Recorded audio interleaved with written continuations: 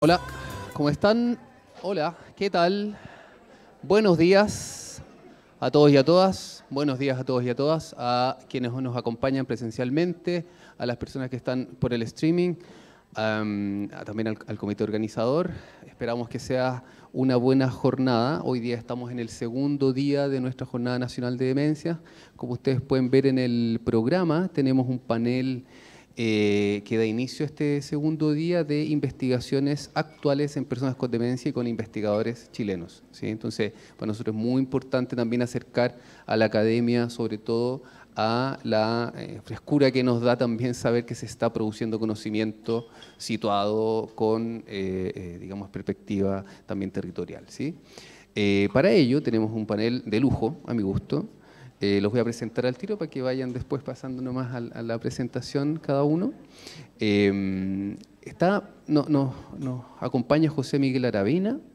Él es candidato a doctor del Departamento de Social and Behavioral Science de la Escuela de Salud Pública de Yale University. Qué elegancia, José Miguel.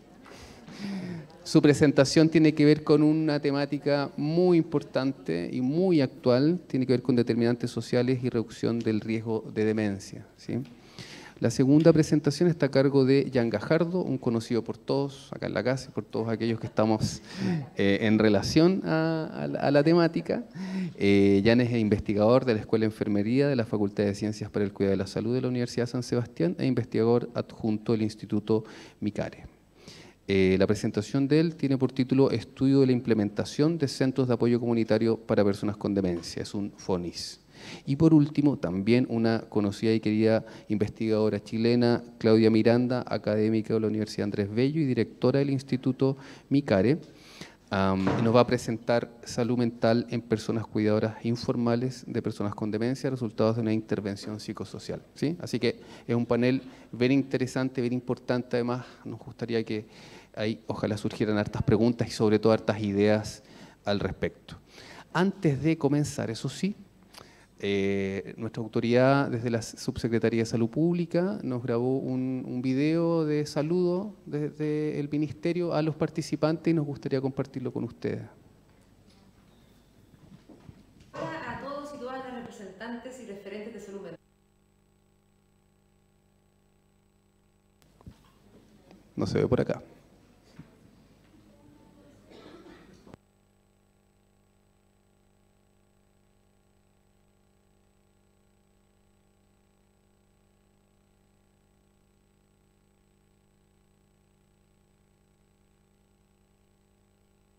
Hola a todos y todas las representantes y referentes de salud mental y personas mayores de los servicios de salud presentes, así como los equipos de la Seremi que nos acompañan. También a los equipos de atención primaria y de especialidad que participan en esta Jornada Nacional de Demencias 2023. Estamos muy contentos y agradecidos por su participación porque es fundamental para dar una respuesta coordinada para la atención integral de las personas con demencia y las personas que acompañan el proceso de esta enfermedad. En este sentido, la articulación de los distintos niveles de atención es clave para dar esta respuesta integral que considera además el trabajo intersectorial como aspecto central.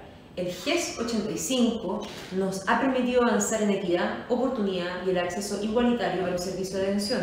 Sin embargo, sabemos que no es suficiente. Por eso estamos avanzando en el fortalecimiento del modelo de atención para dotar a la red de mayores capacidades para el diagnóstico, el tratamiento y el cuidado de todas las personas, independientemente de su origen socioeconómico.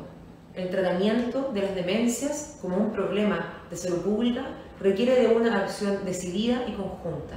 Debemos reconocer la importancia de estas enfermedades y su impacto en la sociedad. Es responsabilidad de todos nosotros promover la conciencia, la investigación, el apoyo y la atención adecuada para las personas que viven con demencia y sus cuidadores. Juntos podemos marcar la diferencia y construir una sociedad más inclusiva y solidaria para todas y todos. Gracias por su atención y compromiso en esta importante causa.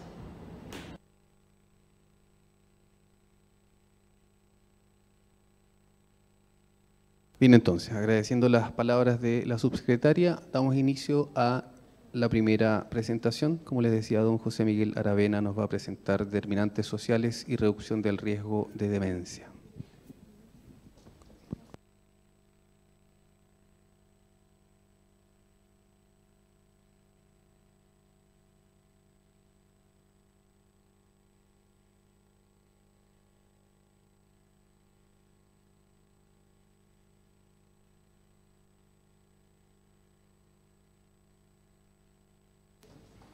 Hola, buenos días. ¿Me escuchan bien?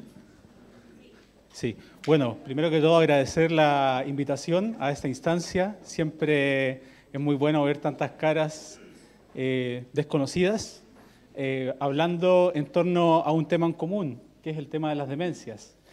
Y a mí me toca el gran desafío de poder eh, introducir esta jornada. Entonces me toca romper el hielo con ustedes. y para eso vamos a hablar de un tema que, está muy en boga ahora, que está, que está tomando mucho vuelo con respecto a lo que es eh, las demencias, y vamos a hablar de forma particular de lo que es la reducción del riesgo de la demencia y cómo los determinantes sociales influyen en la posibilidad de reducir el riesgo de presentar una demencia. Les voy a hacer una pregunta ahora. ¿Se puede prevenir la demencia? ¿Sí? ¿Quién cree que, quién, que levante la mano a hacer un conteo?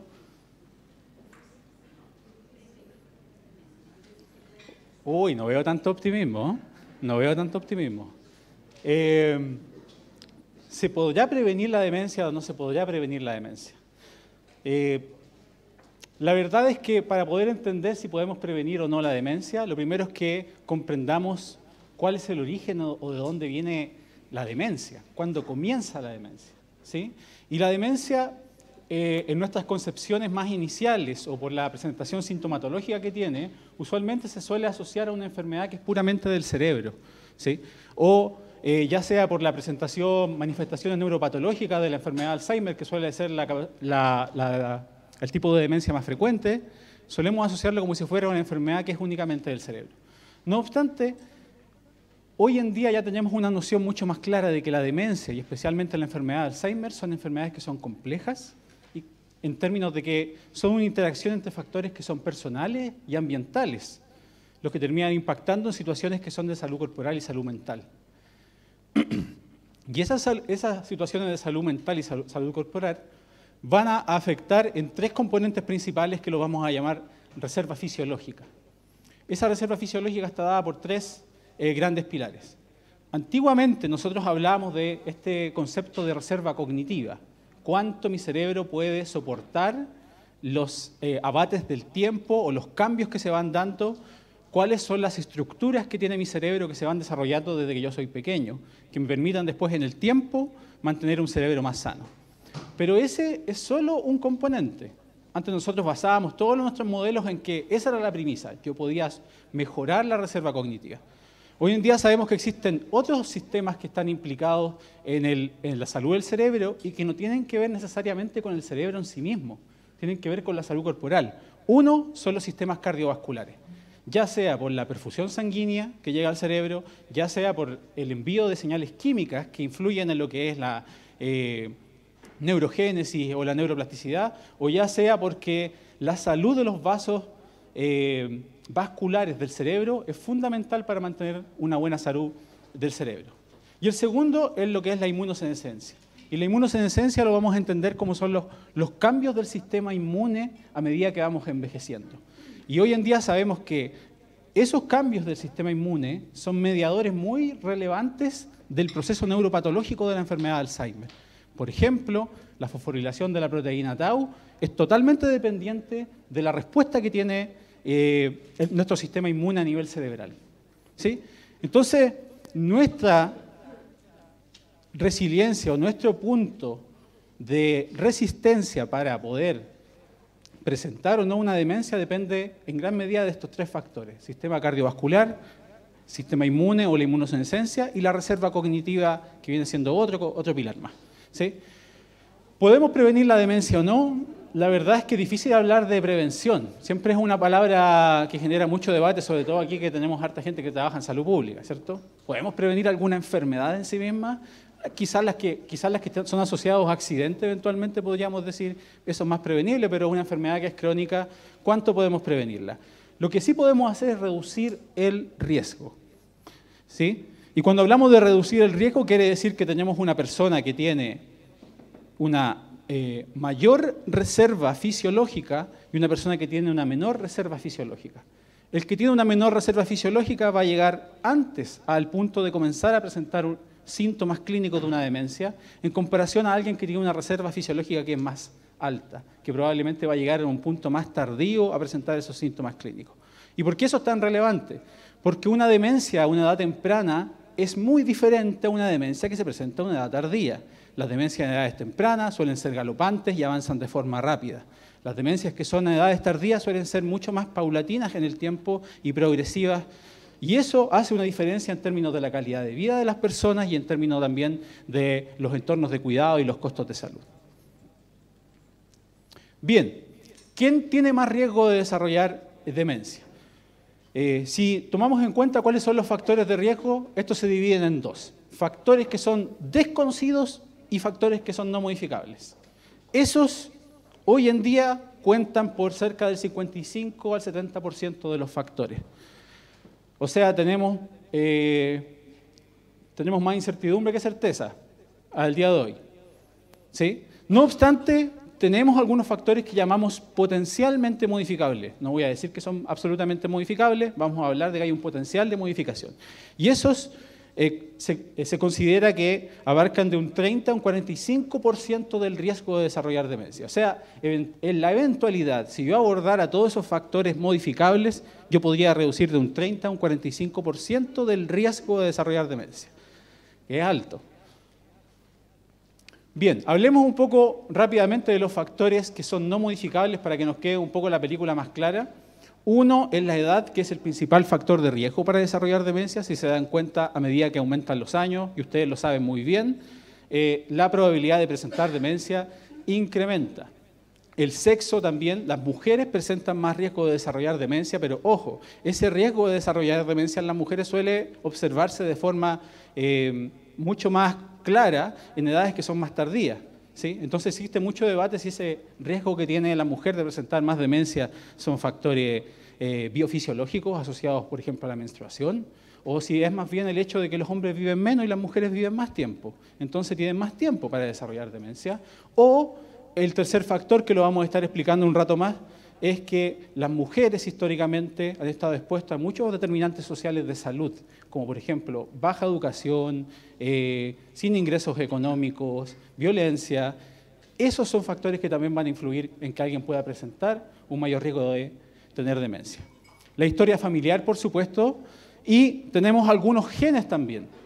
Ahora, cuando hablamos de genes no tenemos un gen, tenemos familias de genes. Y estos genes van a, depender del tipo de demencia, ¿sí? por ejemplo la demencia frontotemporal es una demencia que tiene un fuerte componente genético. Si es una enfermedad de Alzheimer temprana, esos son genes que son mucho más raros. Cuando alguien presenta una enfermedad de Alzheimer que es muy temprana, usualmente tiene un componente genético, pero son raros, ¿sí? son unos, menos del 5% de la población. Y tenemos genes que están asociados a la enfermedad de Alzheimer esporádica. Y la esporádica la entendemos como la, demencia que ocurre después de los 65 años. ¿Sí? Y de forma particular, me voy a detener a hablar de esto, después van a entender por qué voy a hablar de esto, es, hay un gen que se llama ApoE4, ¿sí? Y este es un gen que, es el gen que se asocia de, forma más fuerte a lo que es la enfermedad de Alzheimer tardía, ¿sí? o sea, o la esporádica. Todos aquí tenemos dos alelos de este gen, dos E. Podemos tener E2, E2, E3, E3, E3, E4 o las combinaciones. Todos aquí tenemos eso. Uno viene de la madre, otro viene del padre. Los sujetos que tienen alelos E2 tienen menos riesgo de desarrollar demencia, ¿sí? sobre todo si son E2, E2. Los sujetos que tienen algún E4, ya sea E3 o E4, E4, tienen casi 15 veces más de desarrollar demencia. ¿sí? Hace poco salió la noticia que este, el actor el que hace de Thor en las películas de Marvel. Se hizo el test y descubrió que era E4, E4. ¿sí? Se puso muy triste, se puso a viajar por el mundo para poder eh, no, esto es bastante irónico porque en realidad, imagínense lo que es, no importa cuánto dinero tengas en el bolsillo, imaginarte que vaya a perder o que tu riesgo de desarrollar una enfermedad como esa es terrible. ¿Ya? Entonces, se estima que en la población un 15 a un 25% de las personas tienen a lo menos una copia del E4. O sea, aquí puede haber más de una persona. Me incluyo, porque no sé cuál es mi, mi. ¿Sí? Eh, y en las personas con enfermedad de Alzheimer, que tienen un diagnóstico de Alzheimer, se estima que el 60% tiene este gen. O sea, no es menor. Ya, con respecto a los factores de riesgo modificables, este es un modelo que salió en el año 2020 por la comisión eh, de Lancet, donde juntó a un grupo de expertos y dijeron, bueno, veamos cuál es la evidencia disponible que existe con respecto a factores de riesgo de la demencia, sinteticemos esa evidencia y veamos cuáles son los factores que tienen más peso. Hoy en día este es el modelo que es usualmente más utilizado. Y ellos desarrollaron un modelo donde dividen los factores de riesgo de acuerdo a las distintas etapas del ciclo vital. ¿sí? En la edad temprana, presentar una menor educación es un factor de riesgo de demencia. En la mediana edad, la pérdida auditiva, el presentar golpes en la cabeza moderados o severos, la hipertensión, la obesidad, el alcoholismo y en la edad tardía, tabaquismo, depresión, aislamiento social, sedentarismo, la polución del aire y la diabetes. Y el APOE4, que es como el 7%, pero ese es no modificable lo volví a mostrar porque después va a hacer sentido eh, cuando le estoy hablando. ¿sí? Entonces, estos son eventualmente factores de riesgo eh, modificables. ¿sí? En nuestro país, un grupo de investigadores hizo el cálculo más o menos de cuál sería la fracción de riesgo atribuible o que podríamos reducir si abordamos estos factores de riesgo, ¿sí? ocupando la encuesta nacional de salud.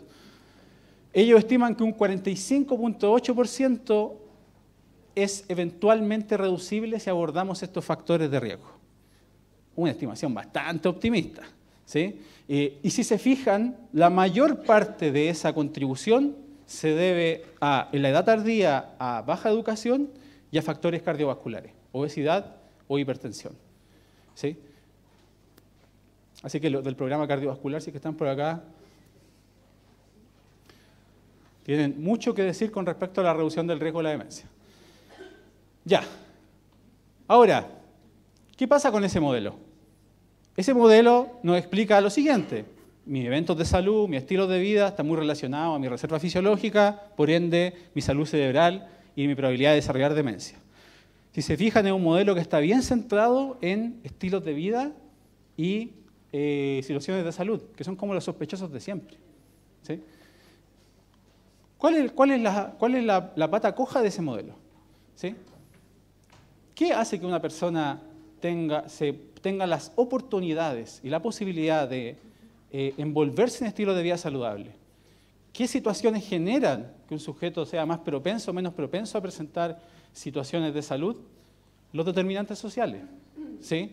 Y aquí donde está, quizás, esa es la, pieza faltante de, ese modelo que es muy basado en la evidencia disponible, que por supuesto, como es evidencia usualmente más de una índole biomédica, tiende a haber una, evaluación mucho más potente de factores de salud.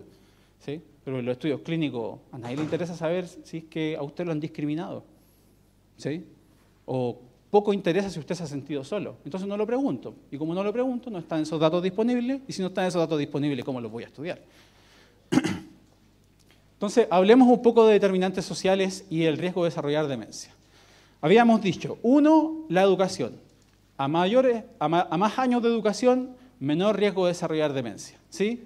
¿Cuál era nuestra primera creencia? Oh, esto tiene que ver mucho con la reserva cognitiva. ¿sí? Si estudio más, mi cerebro funciona mejor.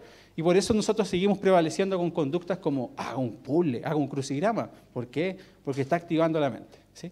No obstante, esta relación es mucho más compleja que estudiar mucho, nuestro cerebro funciona mejor. No, no, no, no. Hoy en día sabemos que, por ejemplo, la calidad de la educación tiene un impacto en el riesgo de desarrollar demencia. O sea, sujetos que van a colegios de mejor calidad presentan menos riesgo que sujetos que alcanzan los mismos años de escolaridad, pero que van a colegios de peor calidad. Ya, o sea, esto no tiene que ver simplemente con estudiar. ¿Qué tiene que suceder en la vida de una persona para que no termine el colegio? ¿Qué sucede alrededor de una persona que va a un colegio de menor calidad en relación a una persona que va a un colegio de mayor calidad? Hay más cosas alrededor. No va solamente un libro o leer más rápido. ¿sí? Segundo, estabilidad económica. La gente que usualmente pertenece al quintil más bajo o al 25% más bajo se ha visto que presenta un mayor riesgo de desarrollar demencia y hoy en día hemos visto que algunos factores que son bien importantes, como el nivel socioeconómico que la gente tuvo durante la infancia, es un determinante que es muy relevante. Y que eso nos habla también de la perspectiva de curso de vida que tenemos que considerar cuando hablamos de riesgo de demencia. Otros factores como el desempleo, el tipo de ocupación, se ha visto, hay algunos estudios que dicen sí, otros dicen no, no es tan concluyente. El vecindario y el entorno construido. Número uno, la contaminación del aire. Particularmente esta partícula que se llama PM2.5, ¿sí? que, es, que es una partícula que se libera frecuentemente y, este es un estudio que salió hace poquito, mostraba las principales fuentes de PM2.25 y cómo estas afectan al riesgo de desarrollar demencia. ¿Sabe cuáles son las principales? PM2.25 generado por agricultura, tráfico y quema de carbón. Y los incendios forestales, para variar. ¿Sí? Y la deprivación del vecindario. Esto parece a ratos medio obvio, ¿sí? Personas que viven en vecindarios donde hay mayor deprivación social o hay más grupos de personas que tienen menos educación, menos ingresos económicos, eh, menos acceso estructural, también tienen un mayor riesgo de desarrollar demencia. Y el ambiente social y comunitario. Este es un factor que nos encanta mencionar, soporte social, aislamiento social, la soledad, como eventual factor de riesgo o de protección. ¿sí? Los sujetos que se sienten solos tienen el mayor riesgo de desarrollar demencia. ¿sí? ¿Qué pasa con el soporte social y el aislamiento social? Sí, eventualmente es un factor de riesgo, no obstante, todavía tenemos muchas dudas con respecto a si existe un fenómeno llamado causalidad reversa. ¿Qué quiere decir eso? Que cuando el sujeto empieza a presentar los primeros síntomas, se empieza a aislar, participa menos. Entonces, no es necesariamente el aislamiento social el que causa la demencia, el aislamiento social podría ser un síntoma temprano de la demencia. Y por eso se observa esta asociación. ¿sí? ¿Por qué digo esto? Porque a veces nosotros sobrecaemos en este tipo de promociones que sí, es importante que la gente participe eh, en actividades sociales, que se sienta integrada. Es muy relevante para un buen envejecimiento. Pero de ahí a que prevenga la demencia o que reduzca el riesgo, se los dejo ahí en la mesa. Eventos traumáticos durante la niñez. ¿sí? Son factores que están ocurriendo hoy en día. Y la discriminación hoy en día, particularmente la discriminación por edad los sujetos que se perciben a sí mismos como con un peor envejecimiento tienen mayor riesgo de desarrollar demencia. Y hay múltiples estudios que ya han mostrado eh, relacionados a la cognición, relacionados al desarrollo de la demencia. Bien, tenemos nuestro modelo nuevamente. ¿sí? Tenemos los determinantes sociales que van a impactar en los eventos de salud, los estilos de vida y en el desarrollo de la reserva fisiológica. Entonces yo me pregunté o nos preguntamos con nuestro grupo, ¿y qué pasa si alguien tiene un alto riesgo genético? ¿Puedo ya reducir ese riesgo genético? ¿O si tengo, si soy el eh, Thor de Marvel, estoy sonado y me va a dar sí o sí la demencia o no tengo posibilidad de reducir el riesgo? ¿Sí? Entonces, para poder responder a esa pregunta, hicimos un estudio con el fin de analizar si es que la exposición a determinantes sociales favorables reducía el efecto negativo del gen APOE4 o si la exposición a determinantes sociales favorables amplificaba el efecto positivo del efecto APOE2, que es un, que es un gen protector. Hicimos una revisión sistemática de la literatura eh, y buscamos estudios donde incluyeran gente que era E4 o E2, que supieran su, su gen, que evaluaran cualquier, cualquier resultado asociado a salud cerebral, cognición, enfermedad de Alzheimer o demencia, biomarcadores cerebrales, con el fin de saber, bueno, este resultado que vamos a encontrar, ¿tiene un correlato biofisiológico o no?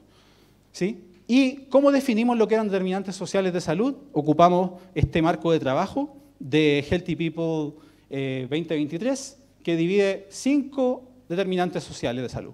El acceso a la educación y la calidad de la educación, el acceso a cuidados de salud y la calidad de la atención en salud, el barrio y el entorno construido, el ambiente comunitario y eh, los factores económicos. De, este, de esta revisión sistemática encontramos 124 estudios que acumulaban una muestra total de 174.000 personas con, eh, con, portadoras de E4 y 17.000 personas portadoras de E2. ¿sí? La mayoría de los estudios, por supuesto, fueron realizados eh, en, los Estados, en los Estados Unidos. Uy, no se alcanza a ver los demás colores. Bueno, no importa. Pero teníamos una representación del mundo en general. Eh, habían estudios de todos lados, claramente había una representación mucho más eh, potente. Ahí, ¿sí? ¿Qué encontramos aquí? Que efectivamente la mayoría de los estudios que evaluaban el acceso a la educación encontraban que cuando un sujeto que tiene eh, un sujeto que tiene el gen E4, que tiene un alto riesgo genético, si ese sujeto termina la enseñanza media, tiene un menor riesgo de desarrollar demencia que un sujeto que tiene el gen, pero que no ha terminado enseñanza media. Así de potente. Y esto es potente porque nosotros revisamos algunos estudios que evaluaban los años de educación y el, número de años de educación no era tan consistente, pero sí era mucho más consistente el alcanzar hitos que tienen que ver con determinantes sociales. O sea, tengo un sujeto que terminó su educación media, ahora puede postular a un mejor trabajo, que quizás quiere decir también que tiene mejores condiciones laborales, tiene mejores condiciones económicas. O sea, no es necesariamente tampoco más años, es este hito eh, fundamental que yo estoy alcanzando de terminar mi educación. Segundo, la estabilidad económica. Encontramos que no pertenecer a grupos de pobreza, la situación económica que tenían mis padres durante la infancia y tener suficientes recursos para satisfacer necesidades básicas. O sea, cuando un sujeto que tenía un alto riesgo genético presentaba esos recursos, presentaba menos riesgo de desarrollar demencia. El vecindario encontramos que la exposición a contaminaciones del aire, especialmente PM2.5, también se ha asociado a, un mayor riesgo de demencia o a un menor riesgo de desarrollar demencia. De hecho, hay un estudio donde sujetos que son E4 viven en zonas donde se, donde se implementan políticas para reducir la emisión de PM2.5 en empresas y a través del tráfico. Y esos sujetos presentan mejor cognición que los sujetos que vivían en los lugares donde no habían restricciones con respecto a la emisión del PM2.5 la exposición a mercurio durante el embarazo y, ojo, vivir en un ambiente más verde, por ejemplo, no necesariamente reduce el riesgo de desarrollar demencia. O sea, no es, yo no voy a solucionar el problema del aire y el riesgo de la demencia plantando más árboles solamente. No, tengo que poner políticas que restrinjan la emisión de PM2.5. Y en cuanto a lo que son entorno social, la percepción sobre la vejez, fue un factor que encontramos que sujetos que tenían un alto riesgo genético, que tenían percepciones más positivas acerca de la vejez, tenían menos riesgo de desarrollar demencia. Los eventos traumáticos, y ojo, en este grupo de cuatro no pudimos encontrar una asociación entre sentirse solo o el número de soporte social y el presentar un menor riesgo de desarrollar demencia. O sea, en este grupo, que son los de alto riesgo genético, este factor no necesariamente va a reducir el riesgo de desarrollar demencia. O sea, no es suficiente. Ya, por supuesto que vimos la misma tendencia también en lo que son biomarcadores, no voy a entrar en ese detalle, pero cosas importantes que encontramos. En seis estudios se compararon a hombres y mujeres que eran con alto riesgo genético y que tenían baja educación. Y en, cinco de esos seis estudios, las mujeres presentaban un rendimiento que era peor, más bajo que los hombres que, tenían, que eran portadores de E4 y tenían baja educación. ¿sí? Y esto, esto es interesante porque nos habla un poco de la interseccionalidad entre lo que es un determinante social, las construcciones de, eh, por lo menos aquí podemos hablar del sexo nomás, no podemos, quizás no, me quiero aventurar con la palabra género, pero es más complejo, ¿sí? Y también nos pone inmediatamente alerta. Esto puede ser una población que es más vulnerable, ¿sí? Tenemos que pensar que mujeres que tienen baja educación son mujeres que usualmente están expuestas a, por ejemplo, eventos traumáticos, violencia intrafamiliar, ¿sí? Y encontramos un par de estudios donde mujeres que eran E4, que eran expuestas a, que habían tenido eventos traumáticos, expuestas a violencia intrafamiliar, tenían el peor rendimiento cognitivo. Y no encontramos estudios relacionados a aspectos de calidad o acceso a la atención en salud. Y eso es muy relevante, porque de todos esos factores que les mostré, quizás alguno de ustedes me va a decir, oye, pero José, yo no le puedo cambiar los años de educación a mi, a mi usuario, a las personas que veo. Yo no los puedo mover de casa, ya viven en ese vecindario. Este probablemente es un factor que nosotros sí podemos cambiar, que es estructural. Entonces nos pusimos a revisar la literatura nosotros, de ¿existe algún estudio que haya evaluado la asociación entre la percepción de la calidad de la atención en salud que recibe la persona y el riesgo de desarrollar demencia. ¿Sí? Y encontramos que en general la experiencia que tienen las personas con eh, la calidad de atención en salud se asocia al desarrollo de una serie de enfermedades. ¿sí?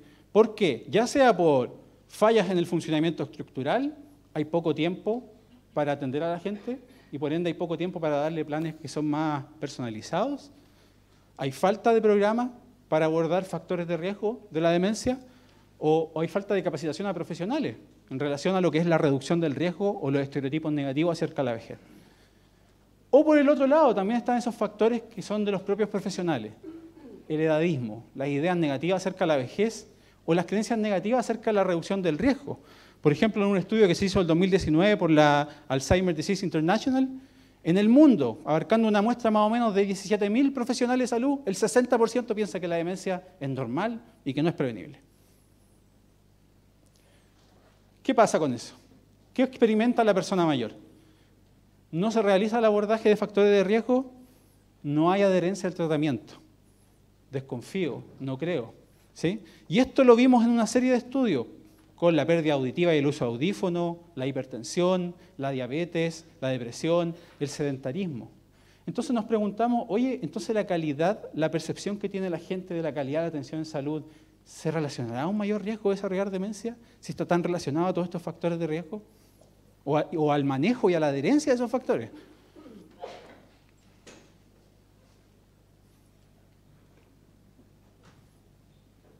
Entonces, hicimos un estudio para experimentar una baja, para evaluar si es que existe una asociación entre experimentar una baja calidad de atención en salud y el riesgo de desarrollar demencia.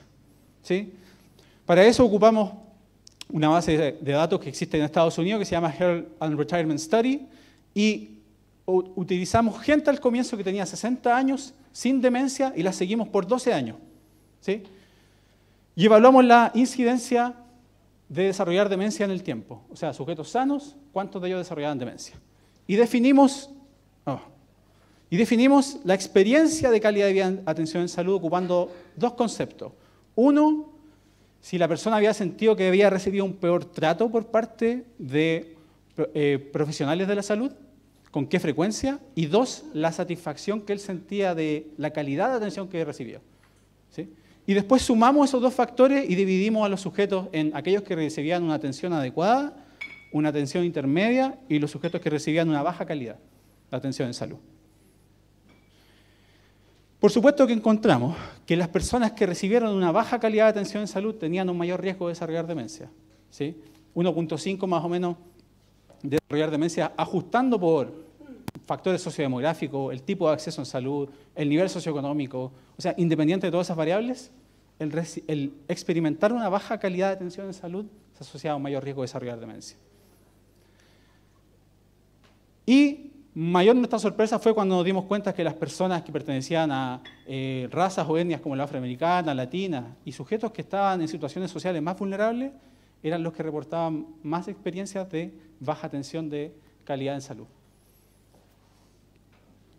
Entonces, en síntesis, los determinantes sociales son un factor determinante en el desarrollo de la demencia y son, llevándolo a una cosa más práctica, son útiles para priorizar personas que pueden estar en riesgo o, que no están eh, en riesgo o que están en mayor o menor riesgo. Dos, ¿qué nos dice esto? Un abordaje en salud para reducir el riesgo de la demencia no es suficiente. Tengo que tener un abordaje que es más integral. Tengo que poder abarcar esos aspectos que son sociales. ¿sí? Tengo que tener una comunicación con los programas sociales que existen. Porque ya, ya nos dimos cuenta, la enfermedad de Alzheimer, la demencia, esto no es una enfermedad simplemente de la salud, es una enfermedad del cuerpo y que donde el ambiente social donde vivimos importa mucho. A nivel estructural, ¿hay gente aquí importante? No, no, no, no. Me refiero a influencia política. ¿sí? Invertir, invertir, ojo, miren, invertir y garantizar recursos para que las personas terminen el colegio, ingresos económicos suficientes para satisfacer necesidades básicas, reducción de la contaminación del aire, especialmente medidas para reducir la emisión de PM2.5 del tráfico, agricultura y generar ambientes sociales positivos, reducir el edadismo, reducir eventos traumáticos, son medidas tan potentes que incluso van a reducir el riesgo en los sujetos que tienen un alto riesgo genético. Así de fuerte. Finalmente, modificar la experiencia de atención en salud en personas mayores podría ser un determinante social modificable. ¿sí?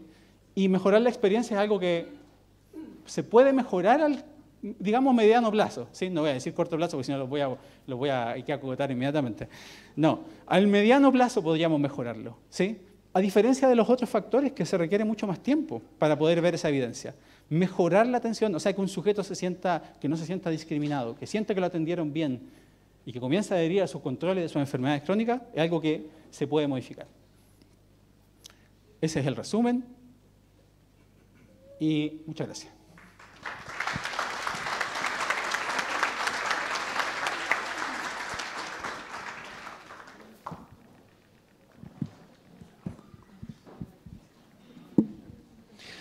Muchas gracias por la presentación, José Miguel. Fue increíble, notable. Hay preguntas desde el streaming, pero también desde, desde la, audiencia la vamos a dejar al final de las presentaciones, si les parece bien, para que las vayamos también pensando y, y dándole vuelta. A continuación entonces, Jan Gajardo nos va a presentar el estudio de implementación de los centros de apoyo comunitario para personas con demencia. Adelante.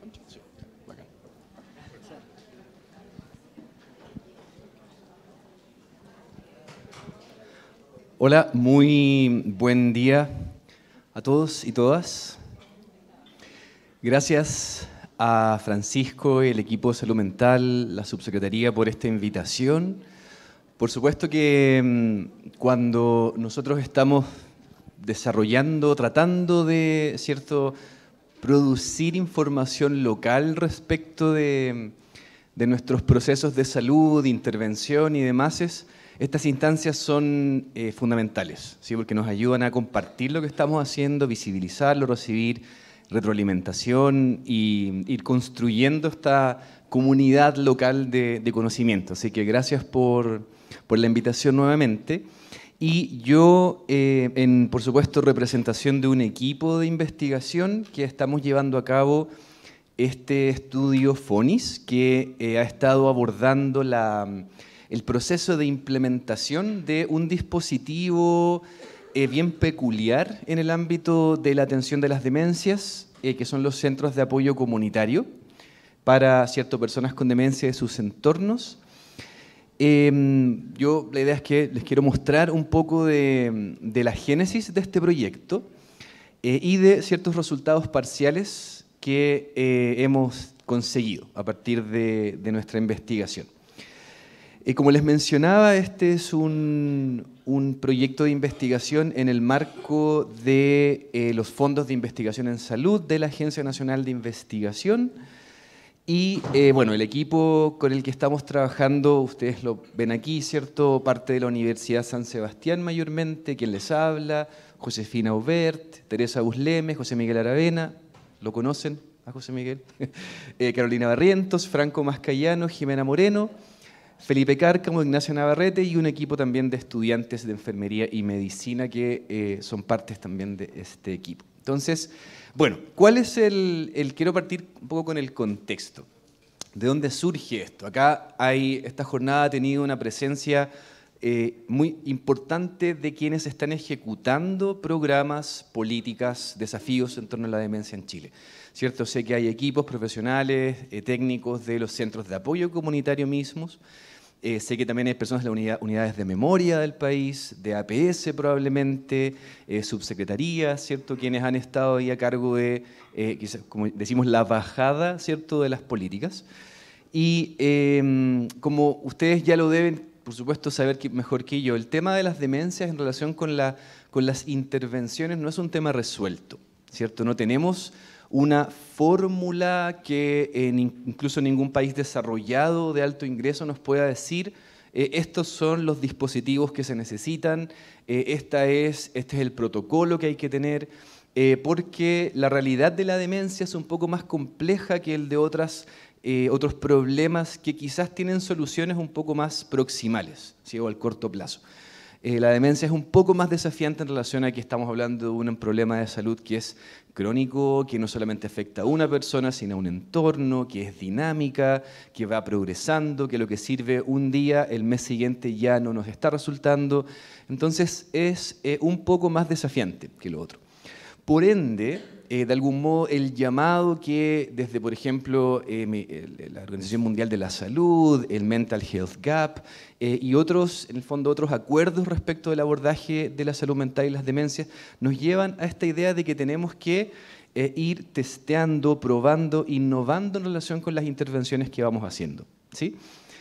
y bueno, en el marco del Plan Nacional de Demencia, eh, han surgido algunas iniciativas específicas para el abordaje de estas, como lo son los centros de apoyo comunitario, como lo son las unidades de memoria y como lo es también el énfasis en la atención primaria en salud, ¿cierto? Como puerta de entrada, como puerta principal.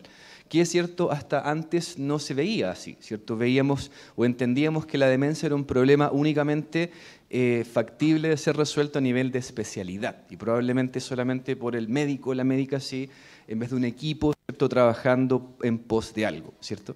Antes hablábamos, se encontraba mucho nihilismo terapéutico en torno a la demencia, quizás algunas veces lo encontramos aún, o sea, una persona con demencia no hay nada que hacer, no sirve nada, no hay costo-beneficio, eh, ¿qué sentido tiene? ¿Sí? Eh, institucionalicemos, eh, mediquemos y listo. Y hoy día, afortunadamente, la evidencia científica nos da un poco más de, de elementos para debatir eso. ¿sí? Entonces, los centros de apoyo comunitario en este marco de innovación en torno a, la intervención en demencias son ¿cierto? una intervención multicomponente que eh, inicia en el año 2013 una experiencia local en Santiago, ¿cierto? del Centro Quintún, con un formato bastante más acotado de centro de día, ¿cierto? como una experiencia piloto entre Senama y la Municipalidad de Peñalolén, con la idea de explorar esto, ¿cierto?, de cómo resultaría un centro diurno para personas con demencia, tomando un poco la experiencia de centros de día para personas mayores eh, frágiles o sin problemas cognitivos, ¿cierto? Entonces se toma eso y por supuesto que a partir de esa experiencia este dispositivo comienza a complejizarse, ¿sí? porque las necesidades son muchas, el problema de la demencia es mayor y empieza a mutar de alguna forma a una intervención un poco más compleja. Es así como eh, nosotros en, el primer periodo de implementación de este centro diurno para personas con demencia Quintún en Peñarolén, hicimos una evaluación rápida de su implementación eh, con la idea de evaluar, ¿cierto?, describir cómo se fue modificando en el tiempo. Entonces, entre el año 2013-2016, que fue su periodo de implementación inicial, eh, vemos que en efecto la lógica del centro inicial era esta lógica del centro de día con mayor énfasis, ¿cierto? Con otras intervenciones eh, complementarias, como quizás las visitas domiciliarias, la capacitación al entorno, como las familias y los cuidadores, eh, el manejo de casos. Y luego, a partir de ciertos elementos, que le vamos a llamar conductores de la implementación, esto se va transformando. Y eh, hasta ese momento, ¿cierto? El centro se fue transformando en un programa con un mayor énfasis en eh, el manejo o la gestión de los casos, en que ya, por ejemplo, el centro de día era también una acción complementaria más posible de personalizar, junto con ¿cierto? Otros, eh, otras intervenciones. y dentro de cuando nosotros estudiamos con el equipo, analizamos la, situación del cambio que se dio, ¿cierto? hay aprendizajes y elementos que fueron generando ese cambio, como lo fueron un mayor involucramiento con la comunidad, es decir, una mayor comprensión de la población objetivo, ¿sí? Eh, el fortalecimiento de las capacidades técnicas del equipo mismo, ¿sí? entendiendo que eh, independiente estemos trabajando en un nivel primario de especialidad, eh, quienes trabajamos con personas con demencia sabemos que esto requiere un tipo de conocimiento técnico un poco más allá, ¿cierto? De probablemente incluso lo que aprendimos en nuestro pregrado. Em, la incorporación de la evidencia científica, que en el ámbito especialmente de la intervención no farmacológica es creciente, abundante, cambia muy rápido, hay discusiones muy interesantes respecto de esto. Em, la expansión de la cobertura territorial y también a lo que no es menor, que fue la conciencia del potencial impacto en política pública, o sea, entender que estamos implementando algo que es eh, novedoso, ¿sí? que no tenemos una comparación clara, entonces, bueno, de algún modo lo que nosotros vamos a estar haciendo es lo que va a servir como referencia. Si se fijan, aquí ustedes quizás se preguntan, es como muchas veces pensamos que los programas, que la expectativa de una intervención o un programa es que se mantenga estable en el tiempo, pero la lógica, por ejemplo, de la teoría de ciencia de implementación es que eso no es así, ¿cierto? Es que es justamente al revés. Es que hay algunos cientistas de la implementación que dicen una intervención que no se modifique en el tiempo es porque está poniendo resistencia a su propio cambio. ¿sí? O sea, una intervención tiene que modificarse en el tiempo en relación con sus objetivos, sus componentes, porque todo el contexto también va cambiando. ¿sí? Por ende, debe modificarse y adaptarse en el tiempo. Y eso muchas veces eh, genera ciertas resistencias y ahí viene un poco esta lógica de tenemos que entonces entender cómo se dan esos cambios o incluso incentivarlos de manera dirigida. En ese momento nosotros también, con un énfasis bastante clínico funcional que tenía cierto la lógica del proyecto inicial, evaluamos también algunos resultados. En este caso, José Miguel y Marilu Bunich, eh, que está aquí presente también la geriatra Marilu Bunich, ellas hicieron aquí una, una continuidad de ciertos indicadores de, eh, de resultados y que observamos en un primer grupo de personas que, eh, en el fondo, participaron de este programa, en este caso las personas con demencia y sus cuidadores. Vimos que ¿cierto? El, eh, el, famoso test Minimental se mantenía en el tiempo, ¿cierto? luego de tres a seis meses. Podemos decir algo al respecto, quizás sí, quizás no. Eh, en, ese, en, ese, momento también se aplicaba el test eh, Time Up and Go para medir riesgo de caída, ¿cierto? ahí mediado por velocidad de marcha y también ahí se producía una reducción en el tiempo, eh, reducción del riesgo de caídas. En términos de la funcionalidad, nos encontraron eh, resultados relevantes y sí notamos reducciones también en eh, las eh, alteraciones neuropsiquiátricas de la persona con demencia. ¿sí? que nos fue derivando, ¿cierto? Por supuesto, a esta idea entonces de ir entendiendo cómo se fue modificando la idea inicial de este centro, que tenía por objetivo en su primer inicio quizás estimular la capacidad cognitiva, ¿cierto? Mantener, aumentar la funcionalidad, y que va replanteándose entonces ciertos sus objetivos. Y es así como llegamos a esta idea de estudiar entonces la implementación. Y cuando hablamos de estudiar la implementación, ¿a qué nos referimos? ¿Cierto? Tradicionalmente, cuando uno habla de esto, muchas veces nos vamos a esto de pensar estos estudios ex ante que se hacen, ¿cierto? Que ejecuto algo, lo mido al inicio, lo mido al final, pero los estudios de implementación eh, dicen, eso no es suficiente. Yo necesito meterme en la profundidad de ese proceso, ya en este hilo, ¿cierto? En el que tenemos una intervención que la tenemos quizás descrita en un papel, la tenemos descrita en un protocolo, tenemos una guía, pero cuando yo la llevo a la realidad, no tengo idea qué va a pasar. ¿sí? Y ese es el supuesto de base. Y lo más también problemático de eso es que queremos tener los mismos resultados siempre cuando implementamos esa intervención, eh, pero el contexto muchas veces es el que me va a definir los mismos resultados que voy a tener. Entonces voy a tener que la implementación, perdón, que la intervención misma a lo mejor está genial, está súper bien diseñada, tiene resultados claros, pero son nuestras estrategias de al momento de implementarla, de llevarla a cabo la realidad, en el contexto, las que van a definir quizás resultados malos. Y no porque la intervención sea mala por sí misma. ¿ya? O al revés, quizás vamos a tener intervenciones que no están tan bien diseñadas, pero que se compensan tan bien con el contexto o con otros elementos del equipo profesional que desde ahí, o con excelentes estrategias de implementación, que tenemos ciertos resultados, pero que quizás no se deben a la intervención misma, sino que se deben a otros elementos. ¿ya? Eh, ¿Qué otra, otro aspecto le importa mucho a, los estudios de implementación? Es esta brecha, por supuesto, que existe.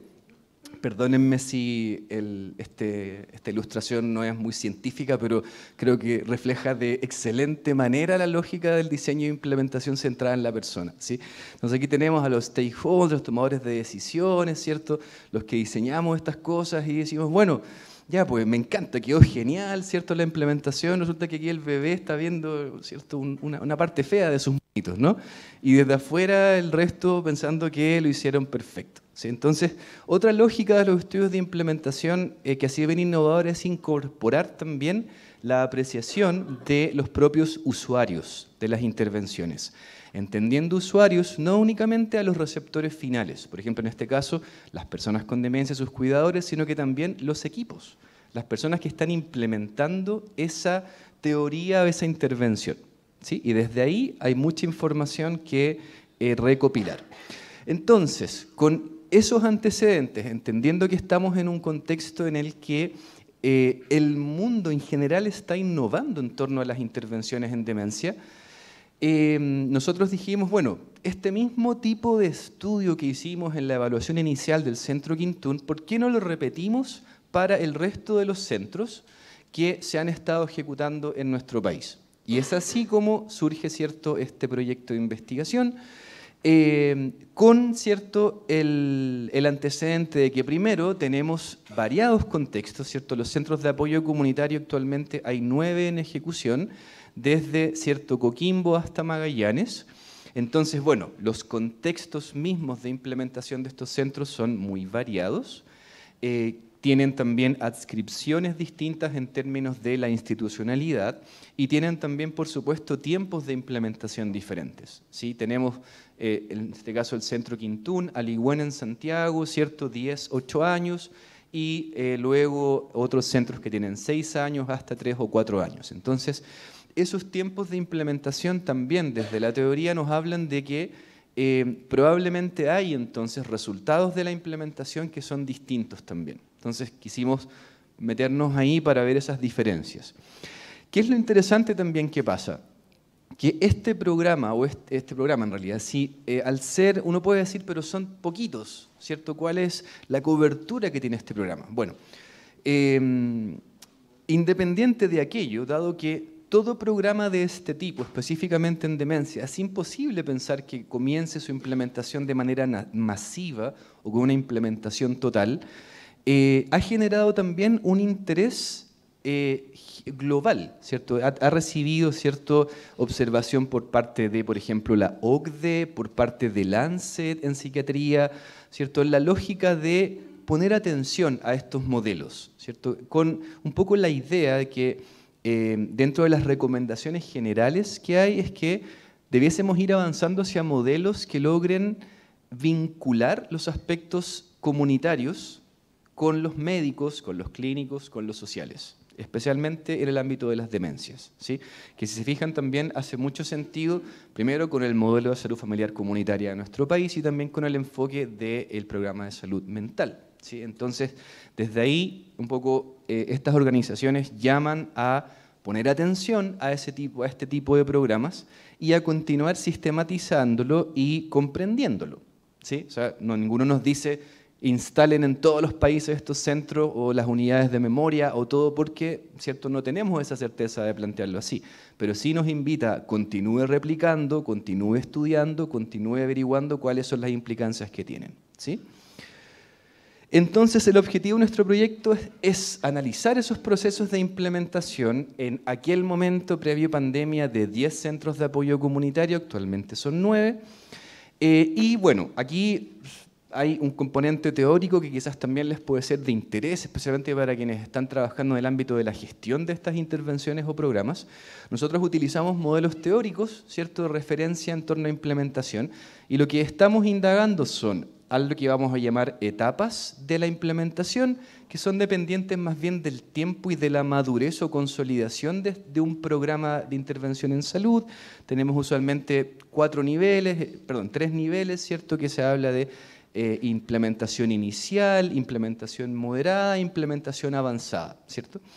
Eh, también tenemos un concepto que son los impulsores de implementación, que corresponden a elementos de distinto tipo que eh, constituyen en la historia de implementación de una intervención elementos que han permitido cambio, que han permitido que la intervención se mantenga en el tiempo, continúe y que se vaya modificando. En esa lógica también quisimos mirar la intervención misma y la transformación de sus componentes en el tiempo, bajo el supuesto de que se han ido transformando y que también, cierto, quizás son distintas entre los centros, ¿sí? que es un poco nuestra hipótesis si quisiéramos nosotros plantearlos de esa manera. La fidelidad a protocolos y orientaciones técnicas que puedan existir. La fidelidad, ¿cierto? En este caso se entiende como de qué manera los implementadores de una intervención mantienen cierta adherencia a, por ejemplo, protocolos, recomendaciones, acuerdos, lo que sea que exista en relación a la implementación de un programa. ¿sí? Eh, la pertinencia del programa mismo y la influencia de la pandemia por COVID-19, por supuesto, en, este, en su misma implementación. Nosotros utilizamos para esto eh, un diseño de investigación que se llama de enfoque realista, con variadas fuentes de información mayormente cualitativas. Eh, utilizamos bajo el enfoque realista, ahí les voy a explicar un poquito más de qué se trata esto, eh, actores en tres niveles, el macro nivel, el mesonivel y el micronivel, teniendo en el macro nivel a ¿cierto? el equipo de salud mental, los profesionales que han estado involucrados en, la implementación de estos centros, eh, en el mesonivel a las direcciones y servicios de salud y los coordinadores de los centros de apoyo comunitario. Y en el micronivel, los equipos profesionales de los centros de apoyo y usuarios, que en este caso, eh, eh, para fines, algún modo, con temas éticos, desde la ANID nos autorizaron a poder trabajar con los cuidadores familiares. Y entonces, ¿qué hicimos con ellos y ellas? Entrevistas grupos focales y también revisión de documentación ¿cierto? y otros elementos para llegar a, esta, a este análisis. Y utilizamos un análisis cualitativo acelerado, que básicamente es que, como somos un equipo de investigación grande, tenemos la posibilidad de triangular entre nosotros y nosotras los distintos análisis de categorías, temas que vamos generando a partir de nuestras entrevistas y demás. Evaluación realista, como les decía, las, eh, es pertinente, elegimos este diseño porque esto es una aproximación a la evaluación de programas que, em, a diferencia de otros, no parte de un supuesto de resultados, ya no parte esperando un cambio específico en un antes y un después, sino que busca justamente comprender a lo que vamos a llamar intervención compleja en su contexto natural busca entender de alguna manera lo que funciona para quién, en qué condiciones y cómo. ¿sí? Especialmente el cómo. Y tiene este supuesto de centrarse más que nuevamente en la comparación de los resultados antes-después, que es la tradicional evaluación ex ante, en los mecanismos subyacentes. ¿Qué sucede? ¿Cómo razonan las personas que han interactuado con la intervención y cómo se dan esas influencias? cómo se relaciona en este caso, por ejemplo, el contexto de esta intervención con su mecanismo o sus componentes y sus resultados. Entonces, asumimos siempre desde esta mirada que hay una interacción entre contexto y mecanismo. ¿ya? O sea, eh, probablemente si hablamos de, por ejemplo, poner una inyección, ¿cierto? Estamos hablando de una intervención en salud que probablemente tiene una influencia, recibe una influencia del contexto que es muchísimo menor respecto de la capacitación a cuidadores de personas con demencia, ¿sí? respecto de situaciones desafiantes en la vida diaria. ¿sí? Por ende, probablemente para evaluar la implementación del proceso de vacunación uno a uno, ¿cierto? no necesitamos una evaluación quizás realista y podemos hacerlo mediante indicadores, antes, después, cobertura, y con eso probablemente vamos a tener información muy buena. Pero en el caso de este tipo de intervención, que es multicomponente, que tiene resultados que todavía estamos también definiendo y discutiendo, necesitamos un poquito más de complejidad. ¿sí? Y eso es un poco lo que esta evaluación nos permite. ¿Qué hemos hecho entonces? Coordinarnos con los coordinadores, valga la redundancia, ¿cierto? Para poder visitar a los centros, para poder pedirles información, eh, mediante levantamiento de, información ¿cierto? a ellos y ellas, eh, entrevistas primero al coordinador o coordinadora y luego o en paralelo a la persona vinculada al tema a nivel de servicio de salud. Eh, luego visitamos in situ los centros para poder conocer ¿cierto? cómo es la realidad física, para poder observarles, interactuar y trabajar con los equipos mismos, lo cual ha sido por supuesto muy, muy enriquecedor. Eh, y también en ese espacio entrevistamos también a familiares usuarios que hayan participado del programa. ¿Sí? Entonces, desde ahí, con estos distintos actores, distintos niveles, es que vamos entonces eh, describiendo, analizando eh, estas distintas dimensiones del proceso de implementación.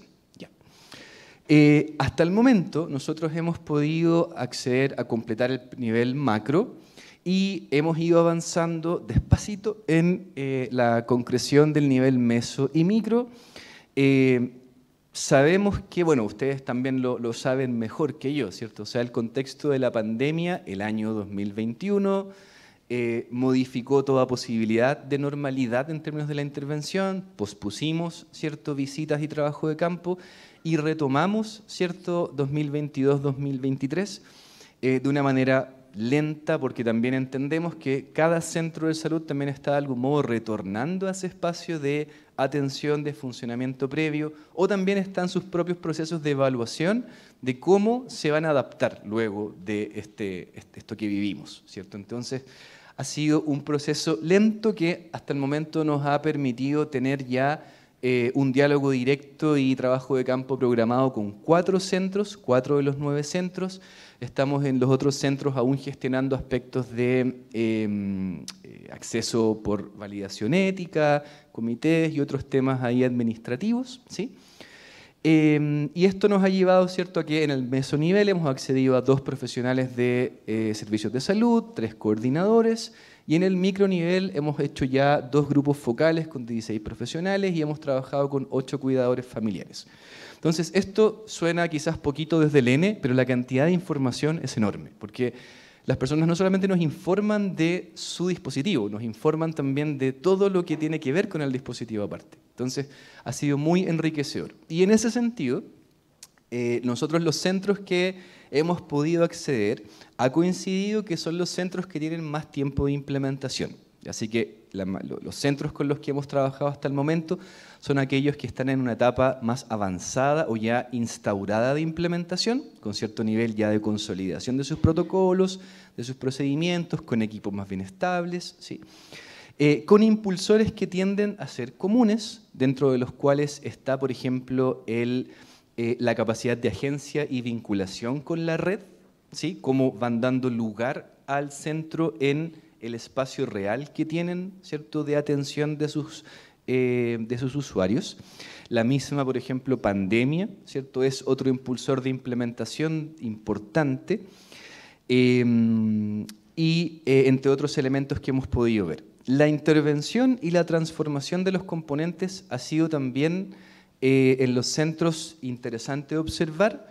hemos visto que tal como un poco mostraba yo en la primera evaluación que hicimos, el, centro en sí mismo, la intervención, ha ido mutando, ¿cierto? ha ido transformándose con un énfasis en el individuo con el diagnóstico de demencia hacia una intervención un poco más compleja que tiende a tomar como prioridad la gestión ¿cierto? y la capacidad de cuidado del entorno familiar. ¿cierto? De igual manera, el vínculo con los recursos que existen en la comunidad y en esa lógica el centro o el programa se va significando como una catapulta, como un potenciador de ciertos recursos de esa familia en su contexto, con harto énfasis, como les decía, en este cambio de la mirada inicial de ideación del programa, ¿cierto? que partía desde esta lógica más bien funcionalista, de la capacidad de la persona, ¿cierto? hacia más bien esta posibilidad de optimizar los recursos de cuidado y de la sustentabilidad de ese cuidado en la familia. Eh, la fidelidad a los protocolos y orientaciones técnicas es probablemente donde encontramos algunos resultados más interesantes, porque eh, ahí, ¿cierto? En el nivel meso y especialmente en el micro, se plantean que han ocurrido muchas adaptaciones del programa. ¿sí? Se plantea que, de algún modo, cada programa ha tratado de, eh, no, no ha tratado, ha modificado, ha adaptado, eh, ¿cierto? Las orientaciones, los lineamientos, la información previa existente de acuerdo a su realidad local, ¿sí? Em, y siendo que a nivel macro el programa en términos tiene una, más bien una estabilidad, ¿cierto? Porque de algún modo los lineamientos se mantienen más bien ahí en el tiempo. Pero por supuesto, al momento de llegar a ese contexto aplicado real, se ha producido algún cambio. También observamos que hay diferencias en las eh, en la aproximación a la intervención de los distintos centros, pero que en la línea de los impulsores se debe a que enfrentan también desafíos que son similares. Por ejemplo, uno de los más importantes tiene que ver con la referencia y contrarreferencia. ¿Cuál es el perfil del usuario? ¿Cuál es el perfil ideal de este usuario? Incluso desde su origen. Eh, abarcamos una comuna o nos abrimos a otra, o tengo usuarios que están llegando derivados de la APS, eh, que quizás vienen con ciertos criterios o ciertos perfiles y desde otros contextos llegan otros. ¿sí? Entonces ahí también hay diferencias que, por ejemplo, los centros han intentado de algún modo subsanar mediante también la incorporación de protocolos específicos en sus lugares. La pertinencia del programa es muy alta. Em, lo único que de algún modo identificamos acá como una comunalidad es la atención que, por supuesto, la instalación del GES 85 tiene, ¿cierto? En términos del cambio del perfil de los usuarios, por ejemplo, en términos del nivel de gravedad de la demencia, eh, la canastización, ¿cierto? Eh, que, que, ocurre en que quizás se tensiona un poquito esto la atención a los cuidadores y cómo eso se, se institucionaliza. Eh, pero el programa se ve muy pertinente tanto por parte de eh, sus implementadores centrales como el nivel más micro y lo que es más importante en este caso, por los usuarios mismos. ¿cierto? Cuando uno interactúa o al entrevistar a los usuarios, uno podría pensar que en efecto hay un sesgo de voluntario muy importante, ¿sí? en que van a ir, por supuesto, a decir lo mejor que pueden de los centros para eh, con esta idea cierto de apoyarles o de no perder esa intervención, que en efecto en algunas instancias está, pero lo que nosotros hemos observado es que en realidad los cuidadores valoran de forma muy técnica también las intervenciones que están recibiendo. O sea, no nos hablan tanto de lo amorosos que son los profesionales, que no dudamos que lo sean, ¿ya? pero nos hablan mucho de lo que han aprendido, cómo era su vida antes, cómo es ahora, eh, cómo aprendieron ciertas cosas para navegar en la red, eh, cómo han modificado su salud mental a partir de estar en el centro, cómo han podido transferir la información hacia el resto de su familia. O sea, nos hablan de elementos, de algún modo, de resultados, ¿sí? que es lo que nosotros queríamos. Em, cuando uno elige una entrevista para ese tipo de información es justamente por lo mismo, porque de algún modo mantenemos nosotros un poquito el poder para poder ¿cierto? movernos en los discursos de esas personas y no nos quedamos solamente en que nos digan eh, yo quiero mucho a los profesionales y listo. No, queremos indagar un poco más en elementos específicos y eh, siempre esta es una apuesta. ¿no? Uno se encuentra a veces con que las personas no elaboran más allá y que puede ser por características propias o porque en efecto no están percibiendo resultados por parte de la intervención, que también uno lo puede encontrar. Y en este caso hemos observado eh, una pertinencia bastante elaborada por parte de los familiares, que nos ha llamado la atención positivamente. Em, y también la influencia de la pandemia por COVID-19, en que nos hemos detenido un poquito también como una categoría específica, porque eh, estamos en un contexto también post-pandemia, llamarle así, en que eh, los servicios de salud, en especial los vinculados a salud mental, eh, han hecho o han intentado hacer una reflexión más allá de decir volvamos a la normalidad de listo, sino también es un proceso de entender de qué manera hay elementos que la pandemia tensionó que pueden ser positivos respecto de incorporar, ¿cierto? cambios que puedan ser adecuados. Entonces aquí también, en efecto, hay centros que eh, están evaluando ¿cierto? algunos cambios, como por ejemplo la incorporación del seguimiento a través de, sistemas telefónicos o de eh, cierto otro sistema remoto como Zoom u otro tema, o incluso el uso de WhatsApp, ¿cierto? para mantener un apoyo que se generó durante la pandemia con los cuidadores y cuidadoras. Eh, y esto es bien interesante, ¿ya? porque aquí yo creo que más que poder decir, eh, a ver, plantearlo como una consecuencia, aquí nosotros podríamos incluso plantear al revés, con agencia, decir, bueno, ¿de qué manera se modifica entonces este programa tomando ciertos estos elementos que fueron aprendidos respecto de intervención remota en salud, por ejemplo? ¿Sí? Entonces, estos espacios son muy interesantes.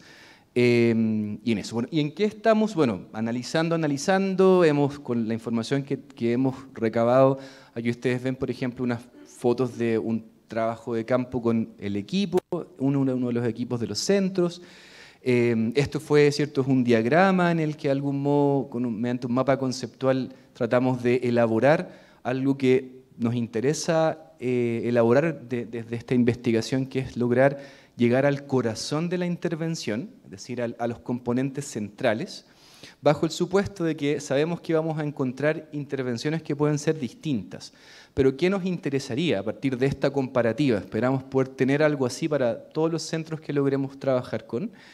Eh, y llegar a cuál es la esencia, ¿cierto? ¿Qué es lo mínimo, el sustento mínimo en términos de los componentes de intervención que debiésemos tener para hablar de que estamos ejecutando el programa Centros de Apoyo Comunitario para Personas con Demencia? Y así decirle a Magallanes o decirle a Araucanía o decirle a Coquimbo, esto es lo esencial, con esto usted, ¿cierto?, mantiene ese corazón, pero lo que adorna ese corazón, usted puede hacer lo que quiera. Pero necesitamos este mínimo para poder decir que estamos todos y todas de algún modo ejecutando el mismo programa. ¿sí? Ese es uno de los desafíos. Entonces acá tenemos cierto em, que este, en el fondo este análisis de este centro nos llevó a componentes como la evaluación, cierto, de carácter multiprofesional, multidominio, que no es lo mismo, que también es desafiante, quién hace qué, por ejemplo, quién evalúa qué área, y también hay diferencias importantes. Em, con el foco de identificar necesidades y prioridades para la persona con demencia su familiar cuidador, em, ¿cierto? dirigido este centro a la persona con demencia, cuidador familiar y también el barrio y la comunidad. Interesante, nosotros si hubiésemos tenido que hacer esto nosotros solos no hubiésemos puesto eso probablemente. Eso se incluye. Eh, consejería y educación, eh, seguimiento cierto y alta, entrenamiento de los cuidadores, centro diurno presencial, visitas domiciliarias, referencia y conexión con la comunidad y servicios de salud. ¿Cierto? Ese es uno de los primeros mapeos que hicimos de intervención con uno de los centros.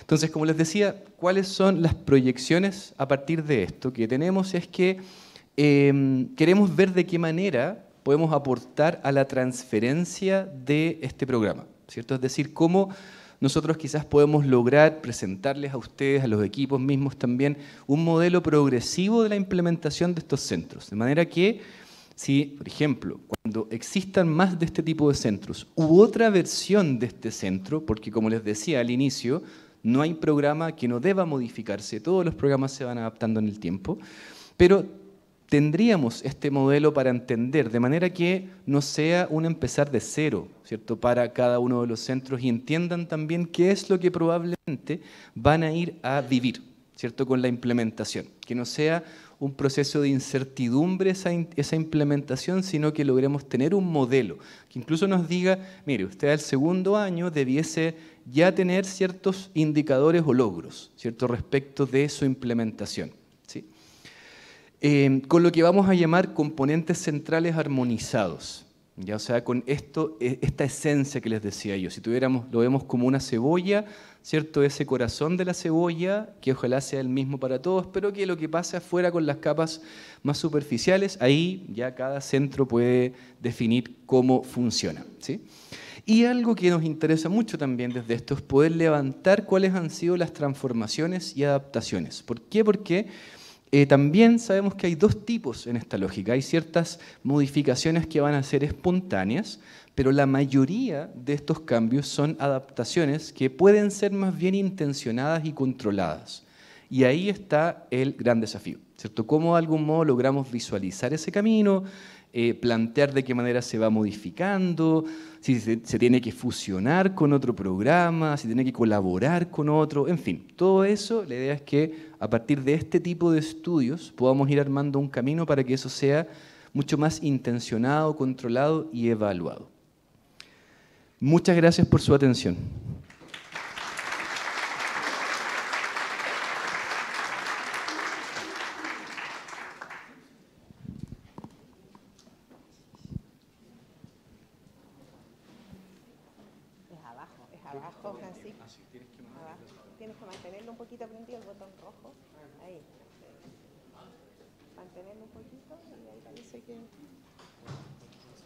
Ahí, ahí, ahí, sí.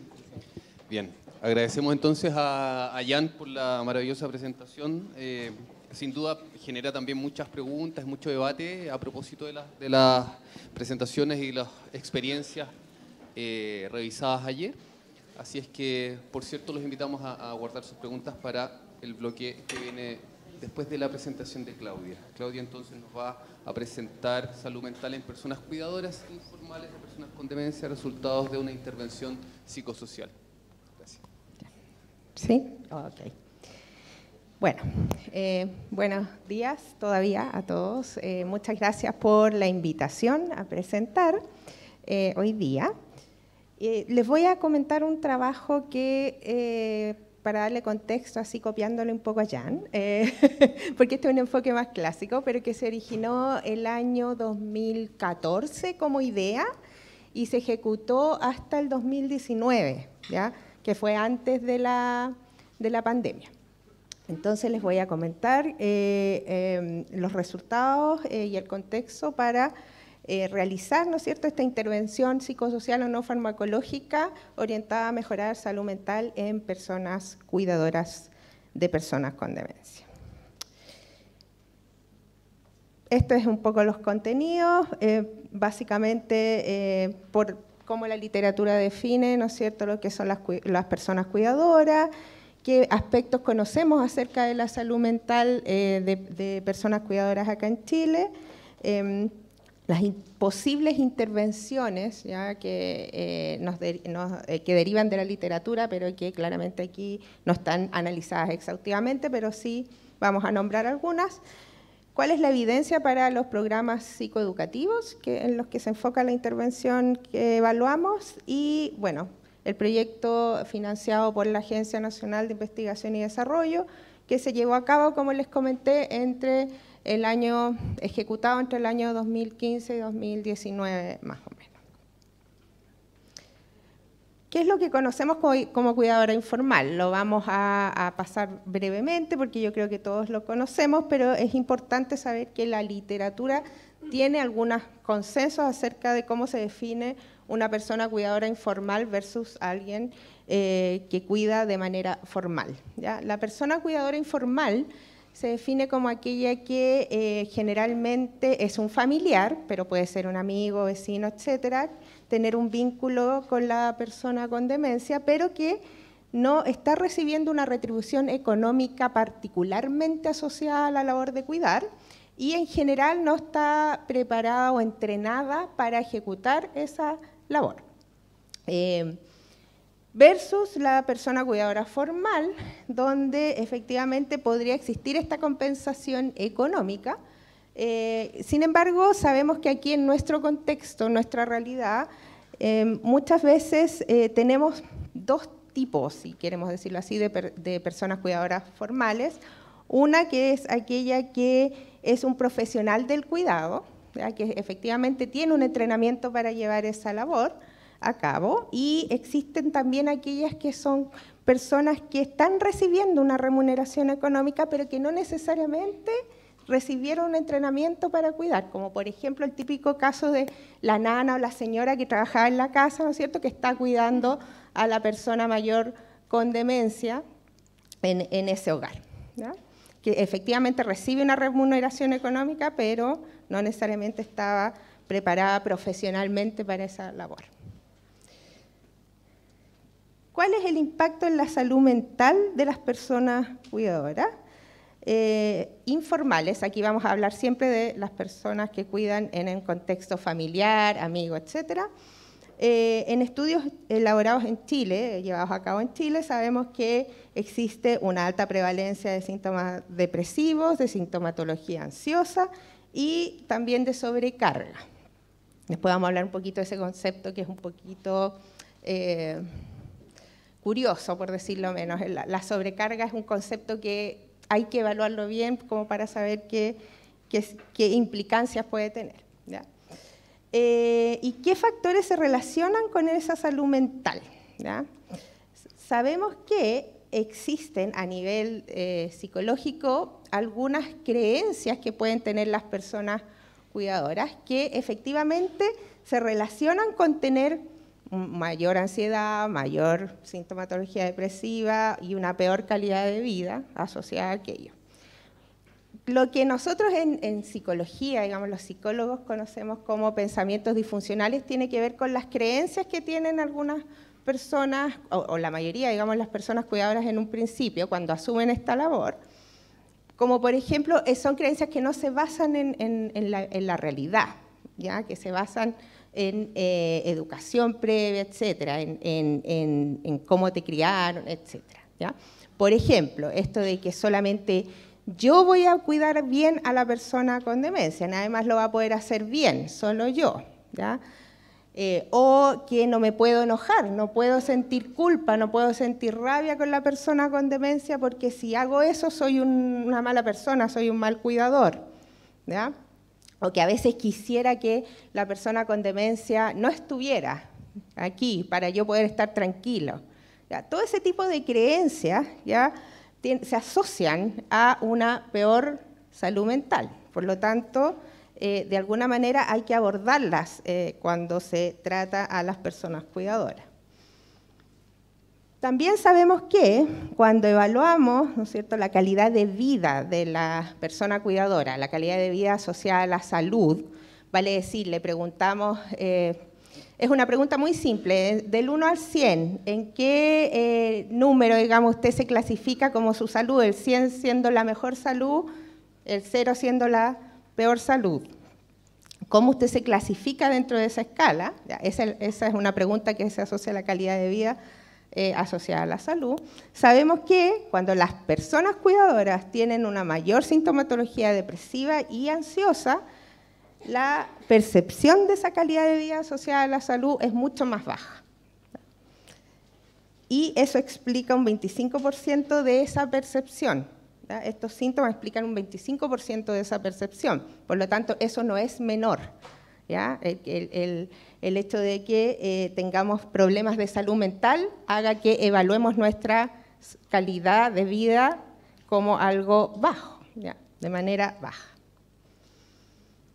Por lo tanto, teniendo en cuenta ese panorama, lo que hicimos fue eh, desarrollar una intervención no farmacológica o psicosocial eh, basada en evidencia para mejorar algunos aspectos de la salud mental de las cuidadoras informales.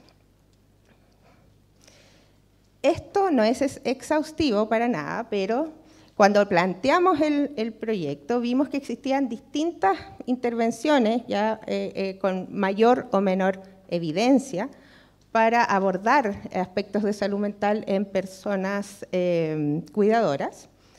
Y eh, algunas de ellas están aquí mencionadas, como son los grupos de apoyo, la gestión de caso, tiempo de respiro, el, aprender a manejar los síntomas conductuales y psicológicos de la demencia, la psicoeducación y la psicoterapia que en general eh, se recomienda más cuando hay un cuadro más severo o algún diagnóstico ya de depresión o de un cuadro ansioso.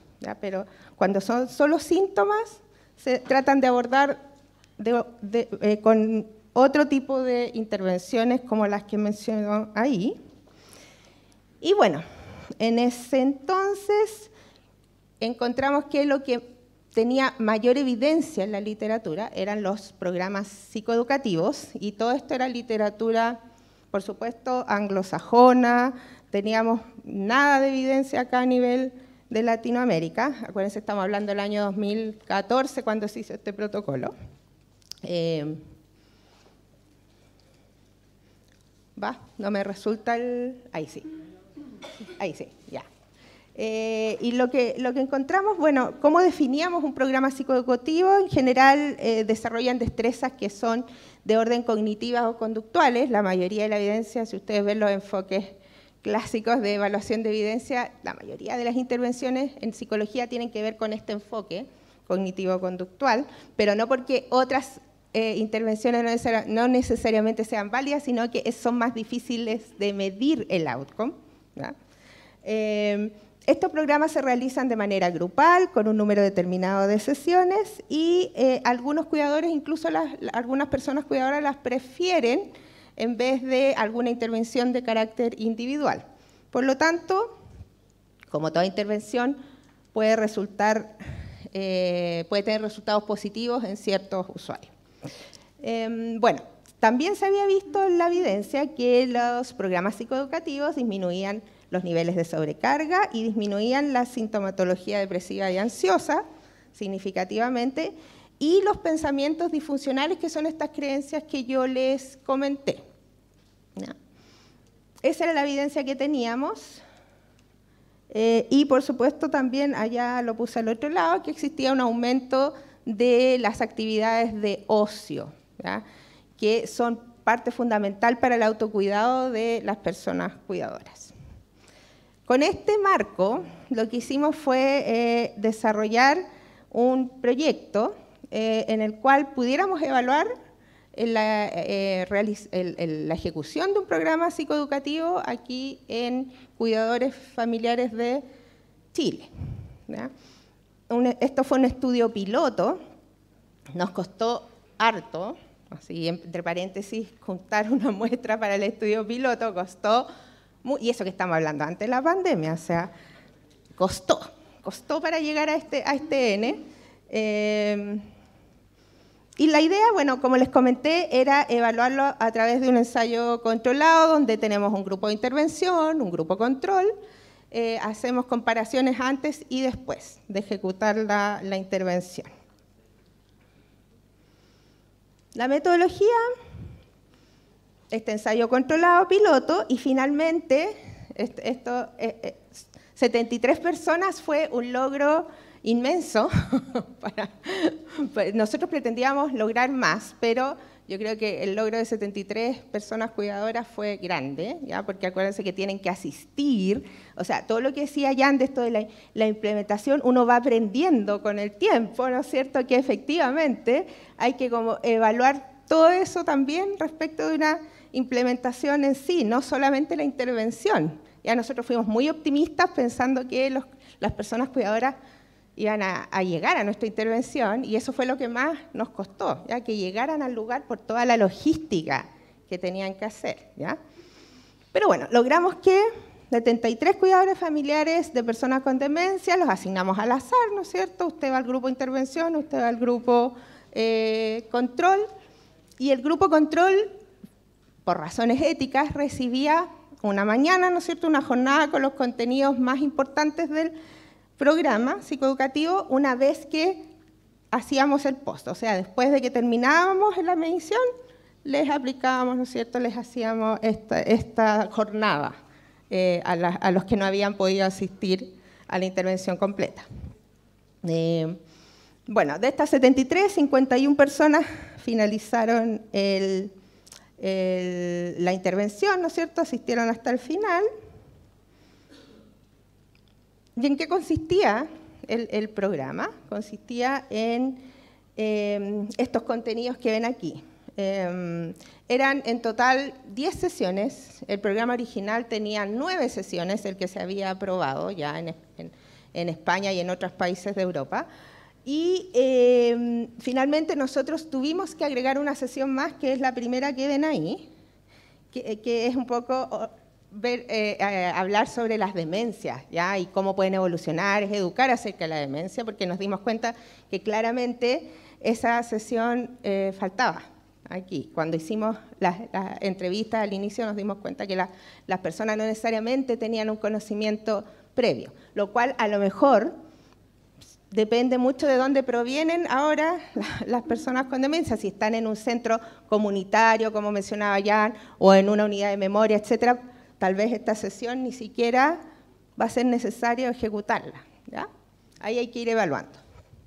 Bueno, hablábamos de la importancia de ser cuidador y del autocuidado, de identificar estos pensamientos que yo les comentaba y ver cómo esos pensamientos nos hacen tener emociones y conductas, ¿ya? porque la, teoría detrás nos indica que actuamos, pensamos y sentimos todo en, en conjunto. ¿ya?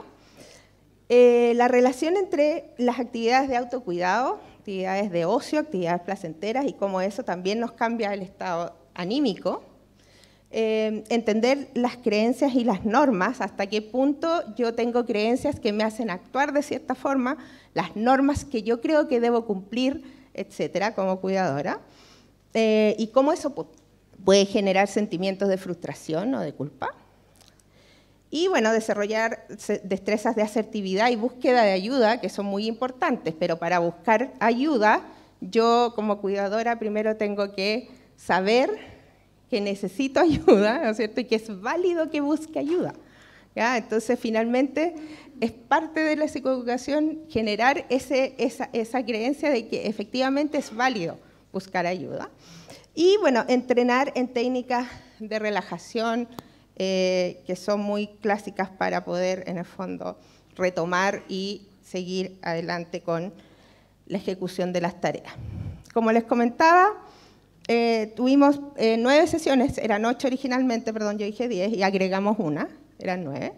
Eh, esto era ejecutado por dos facilitadores y es súper importante tener dos facilitadores porque si, ¿no es cierto?, alguien de la sesión, alguien de las personas que están trabajando en, en, en las sesiones que asisten, se puede descompensar, ¿no es cierto?, etcétera. Siempre es importante tener alguien que se quede con el grupo, otra persona que pueda, eh, ¿no es cierto?, tomar a la persona que está a lo mejor conflictuada en ese minuto.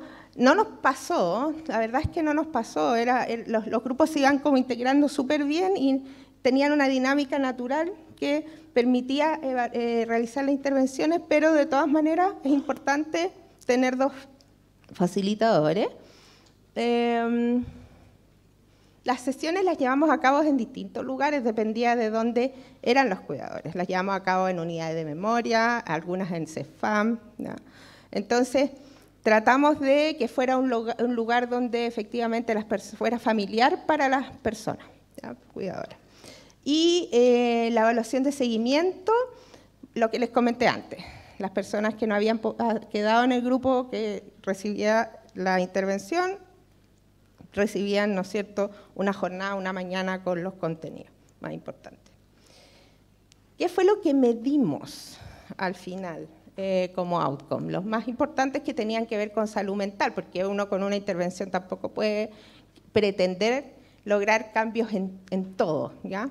Esta se, se, se enfocó en salud mental y medimos básicamente a lo que estaban dirigidos los contenidos, que eran los cambios de pensamiento disfuncionales, la satisfacción y frecuencia de las actividades placenteras de autocuidado, eh, los síntomas depresivos y ansiosos y la sobrecarga.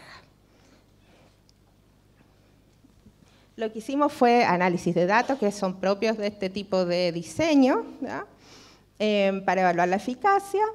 Eh, utilizamos análisis por protocolo y por intención de tratar. Los por protocolo quiere decir que analizamos diferencias en las personas que eh, efectivamente finalizaron ¿no es cierto? La intervención y por intención de tratar con aquellos que no necesariamente eh, la finalizaron. Y bueno, se utilizó imputación múltiple y se efectuó el análisis de modelos mixtos lineales múltiples. ¿Qué fue lo que encontramos? Eh, primero, uno siempre analiza si los grupos de intervención y el grupo que no recibe el, eh, la intervención son iguales a nivel pre, antes de partir con todo. Y en este caso sí, ¿ya? los grupos eran iguales. O sea, tenemos cuidadores de, personas cuidadoras de similares características en ambos grupos. El promedio de edad era de 80 años y 83, 80 años en el grupo intervención, 83 en el grupo control. En ambos grupos, por supuesto, las mayoría fueron mujeres, eh, y la mayoría de las personas con demencia comenzaron sus primeros síntomas entre 1 y 10 años atrás. Ya esa era la proporción mayor. Vale decir, cuánto tiempo llevaban siendo personas cuidadoras era muy heterogéneo, en ambos grupos. No eran personas que necesariamente estaban recién empezando las labores de cuidado, había de todo. Era gente que llevaba muchos años y otros que recién estaban comenzando. Pero no había diferencias entre, ambos grupos y no hubo diferencias tampoco eh, entre las personas que abandonaron el estudio y aquellos que permanecieron hasta el final. Ay, perdón, estas son las características de la persona con, demencia, perdón. Ya me equivoqué, hablé de los cuidadores. Pero eh, lo que quiere decir es que las personas con demencia habían comenzado con sus síntomas mucho antes y otros recientemente. Y bueno, aquí hablando de los cuidadores, eh, lo que encontramos fue que el promedio de edad era de 60 años y de 59, que es lo clásico que vemos acá en Chile, que son personas que están entrando a la adultez mayor y están cuidando. En ambos grupos eran mayoritariamente mujeres, eh, la mayoría estaban casadas, tienen otros roles y em, no hubo diferencias significativas entre eh, quienes abandonaron el grupo y quienes se quedaron. Y ya pasando a los resultados de medición, después de haber efectuado la intervención, vemos que hubo una disminución significativa de estas creencias que yo les comentaba. Las personas que asistieron a la intervención efectivamente disminuyeron significativamente esas creencias o esos pensamientos disfuncionales respecto de los que no habían asistido a la intervención. Eh, la frecuencia aumentó, la frecuencia de actividades placenteras de quienes asistieron a la intervención versus los que no, y eh, una satisfacción, mayor satisfacción con esas actividades. ¿ya? Era aumentar la frecuencia y además eh, la satisfacción con llevarlas a cabo. Esos fueron los resultados principales. Ahora vamos a tratar de pensar por, por qué cambió eso, por qué no lo demás. ¿ya? Eh, el tiempo desde que comenzaron los síntomas, que es esto que yo les comentaba, que teníamos grupos súper heterogéneos, desde que habían comenzado los síntomas de la persona con Alzheimer, eso no se asoció con las creencias que tenían los cuidadores. ¿vale? Es decir, el cuidador podía llevar cuidando poco, mucho y efectivamente eh, tenían el mismo nivel, digamos, de pensamiento disfuncional, no había una relación significativa, ni tampoco con la frecuencia y satisfacción de actividades que llevaban a cabo, actividades de ocio. El nivel de sobrecarga en el post fue eh, mucho menor en el grupo de intervención, ¿ya? o sea, vale decir, disminuyó habiendo ido a la intervención, pero esa diferencia tampoco fue significativa respecto del grupo que no asistió. Y eh, lo mismo pasó con los síntomas depresivos y ansiosos. Hubo una, una disminución en el grupo que asistió al taller, pero el grupo que no asistió se mantuvo igual. El grupo que recibió el taller disminuyó, pero estadísticamente eso no fue significativo. Y cuando hablamos de estadística es porque necesitamos una muestra con un número de personas en particular, etcétera. Aquí no lo vimos. Em, y bueno, en respecto de la asistencia y la aceptabilidad, hicimos cuestionario, ¿no es cierto?, al final, y vimos que efectivamente la mayoría había asistido entre seis, eh, nueve sesiones o dos y cinco, eh, lo que indica una adecuada adherencia. Lo que nos pasaba es que la gente que lograba llegar a la primera sesión, que es lo que les comentaba antes, quería permanecer y trataba de permanecer yendo, pero el llegar a la primera sesión era complejo. Eh, nos pasaba que mucha gente estaba súper interesada y después nos decía que no había podido llegar y no podían ir. Y bueno, la aceptabilidad, em, tuvimos un promedio de 3,5 en una escala de 1 a 4, por lo tanto, eh, Creemos que en el fondo los contenidos, la pertinencia, las actividades, etcétera, fue aceptada, bien aceptada. ¿Cuál es la conclusión? Las conclusiones, bueno, este es un programa que está eh, manualizado, ¿no es cierto?, basado en evidencia, etcétera, eh, y que efectivamente logró disminuir estas creencias en las, en las personas cuidadoras y aumentar su satisfacción y eh, frecuencia de actividades eh, de autocuidado, de ocio. Además, se observó una reducción en la sobrecarga y en la sintomatología depresiva y ansiosa en el grupo que fue a la intervención. Sin embargo, necesitaríamos, que después está en, en las implicancias, necesitaríamos evaluar si eso es una tendencia o se mantiene con una muestra que efectivamente logre tener una cantidad de cuidadores que le llamamos potencia estadística en, estadística. ¿ya? Eh, quiere decir que esta muestra fue muy pequeña para detectar si esa tendencia se mantendría con un grupo mayor, esta, de los síntomas y la sobrecarga. Eh, y siendo una intervención basada en evidencia, este es un programa que es barato, en términos de costos, solamente se requiere entrenar a los facilitadores eh, para llevarlo a cabo con un poco de la teoría de base que tiene el programa, ya que es la teoría cognitivo-conductual. y en términos de los materiales, eh, nada, un manual, o sea, son fotocopias y, el resto es más que nada llevar a cabo las, actividades. Sea, se requeriría para saber si esas tendencias se mantienen o no, hacer un, por supuesto, un estudio con una muestra mayor.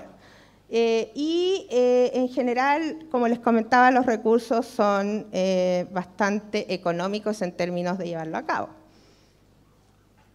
Hasta donde sabemos, este es un estudio de los escasos, si es que no sé si hay, si hay otro a estas alturas, en ese entonces, pero a esta altura, capaz que haya otro en Latinoamérica que use esta metodología para evaluar la evidencia en cuidadora.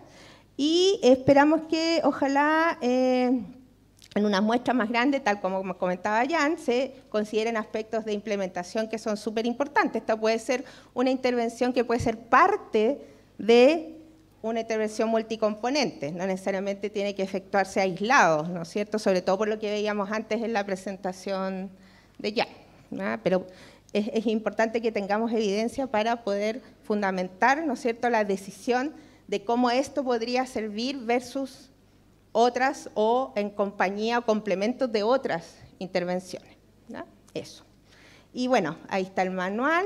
Y como tengo que hacer propaganda, nos pueden escribir en mi care, ahí está los correos, súper fácil nuestro, nuestro correo para que nos escriban y nos contacten. Estamos haciendo hartas cosas interesantes eh, respecto de personas mayores con demencia y personas con discapacidad intelectual y del desarrollo. Esos son nuestros dos focos. Así que muchas gracias.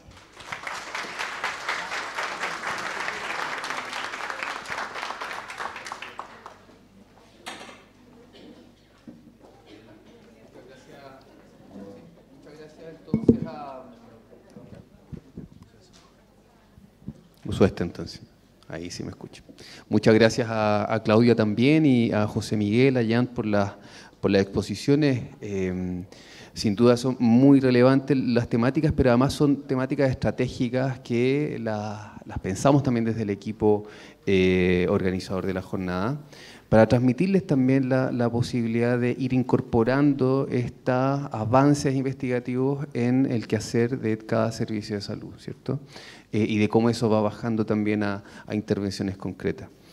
Eh, yo entiendo que por ahí también deben haber varias preguntas, Daniel, ¿sí? tenemos una pregunta desde el streaming, que es la primera,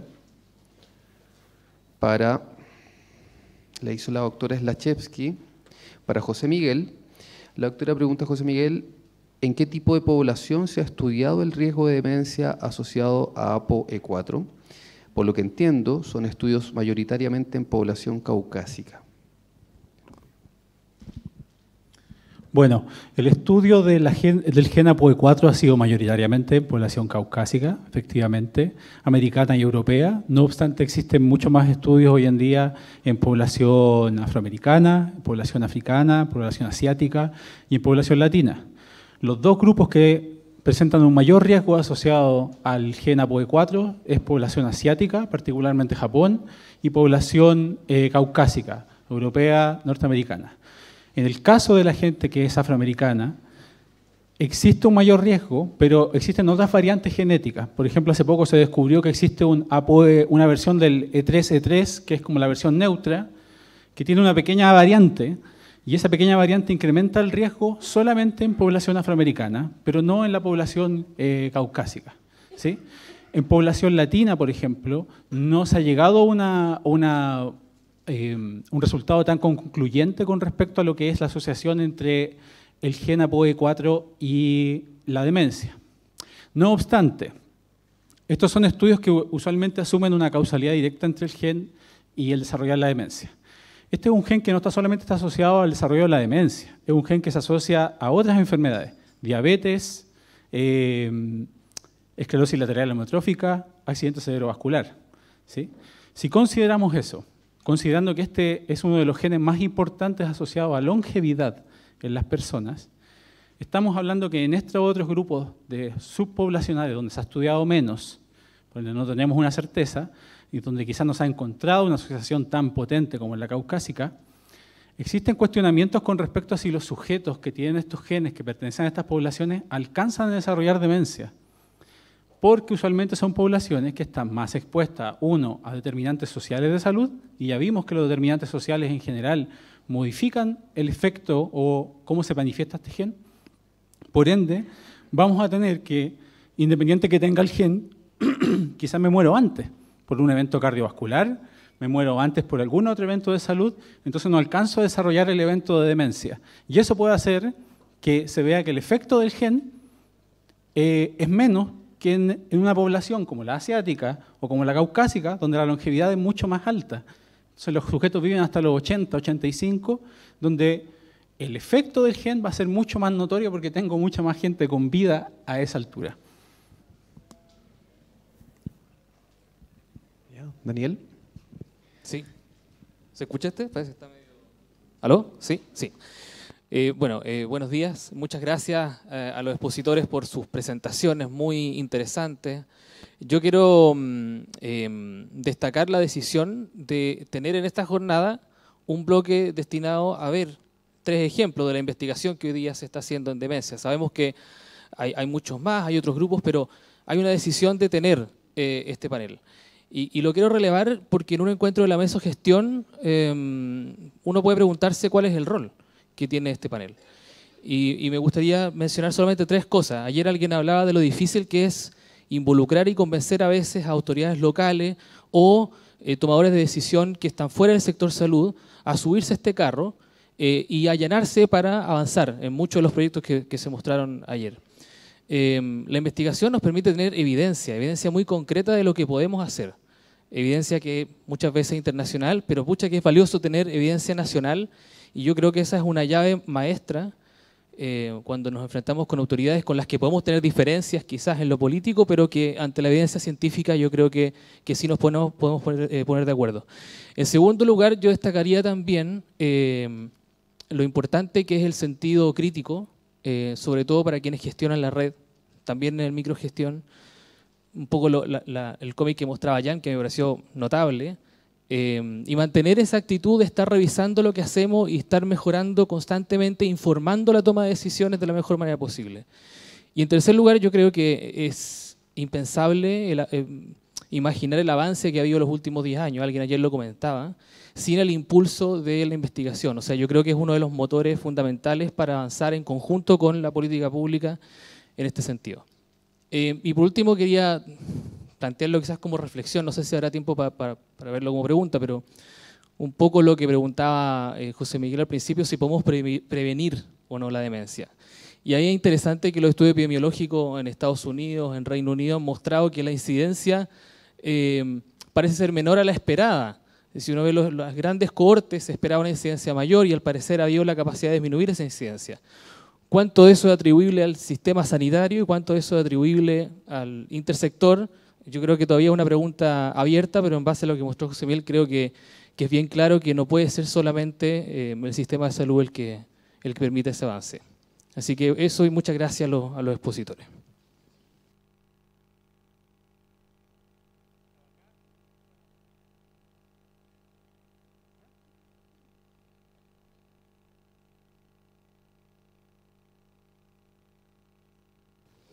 Buenos días, eh, Gina Brun de Los Ríos. Eh, muchísimas gracias por las presentaciones, realmente súper estimulantes y empieza a encenderse nuestra ampolletitas de una serie de eh, cosas que podríamos también estar trabajando en nuestros territorios. Así que muchas gracias, me sumo a los comentarios también, la reflexión recién realizada. Em, y quisiera quisiera comentar, pero también eh, dejar abierta una pregunta y que tiene que ver con eh, hoy día lo que de una u otra forma también han ido mostrando y especialmente en la primera presentación, eh, algo que nosotros también estamos viendo en Chile a través de la encuesta nacional de salud, donde personas con menores condiciones socioeconómicas tienen mayores prevalencias de hipertensión, de diabetes, de obesidad y otros tantos factores de riesgo. Eh, por otro lado, la menor cantidad de años de educación también se asocia a una mayor carga de enfermedad. Y hoy día cuando revisamos el tema de atención integral eh, y vemos que cada vez nuestra población está con una mayor carga de enfermedad, se hace cada vez más resonante en las cabezas de las personas que vemos estas cifras y que nos gusta trabajar en salud y en determinantes sociales también, cómo, em, cómo podemos hacer para que eh, aquellos tomadores de decisión, aquellas personas importantes, aunque yo me considero súper importante, especial para mi familia, pero... Eh, cómo poderlos hacer entender que hoy día la educación es indispensable para nuestra, para nuestra comunidad, para nuestro pueblo chileno, y cómo, entre comillas, eh, ir a intervenir en aquellas determinantes sociales que son estructurales, que hoy día necesitan, eh, necesitan políticas eh, de Estado eh, que puedan hacer que nuestra población tenga no solo menos demencia, sino que también menos infarto, menos eventos, accidentes cerebrovasculares, menos eh, cáncer, porque finalmente cuando vemos todas estas determinantes que mostraron los factores de riesgo y si vamos sumando también elementos inflamatorios que también eh, son los que van achicando también un poco nuestra reserva eh, cerebral, eh, vemos que estaríamos actuando sobre las principales causas de muerte de los chilenos y que además los dejan en muchos casos con una limitancia en su calidad de vida en los últimos años. Entonces, em, yo los felicito por poder ir mostrando esta información eh, felicito al equipo organizador que lo incluyó dentro de las presentaciones, eh, este trabajo de investigación de tres ejemplos que son los que nos permiten avanzar. Cuando sabemos dónde estamos, podemos decir dónde queremos llegar y qué camino podemos seguir, pero el tema es cómo vamos haciendo que esta información tan importante y relevante eh, la vamos transformando en acciones. Eso eh, no sé si en Estados Unidos ustedes han podido, donde tienen algunas cosas solucionadas y otras no, eh, ver, digamos, eh, países como Chile, qué acciones podría ir tomando. Muchísimas gracias por lo presentado.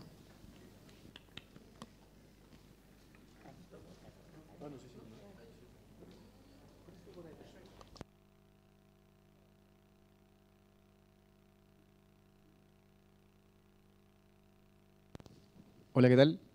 Oye, muy buena las presentaciones. De hecho, la estamos discutiendo con la psicóloga del, programa también, eh, de Ñuble. Pucha, igual allá las tenemos todas. Hay incendios forestales, baja escolaridad, trabajo agrícola, como no, sé cuál falta de la lista, de hecho. Eventos traumáticos también, no sé, es un poco, un poco de todo. Eh, sería súper interesante replicar el estudio o los estudios eh, en sectores más locales, claro, porque por ejemplo nosotros tenemos una, una característica que es bien particular, creo que la compartimos con Maule, con O'Higgins quizás, el tema de que eh, las personas trabajan, trabajan en temas manuales, agrícolas, que toda su vida han hecho lo mismo, o sea, anda, pica ese, ese palo, eh, ara la tierra, no sé. Y se dan cuenta, entre comillas, que la persona está mal cuando dejan de funcionar cuando ya no pueden hacer eso. Pero en realidad la persona siempre estuvo mal, o sea, no, no es de ahora, sino que puede ser, no sé, 10 años.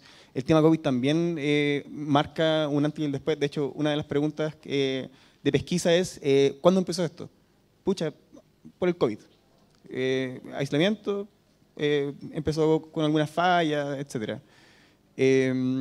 más que nada decir eso, sería interesante como replicar el estudio a nivel local y a nivel bien particular, porque todos tenemos características bien, bien, bien distintas. Por ejemplo, eh, no sé, Ñuble eh, es una región eh, que es relativamente pequeña, pero está relativamente aislada. O sea, no es tan fácil llegar de un lugar a otro.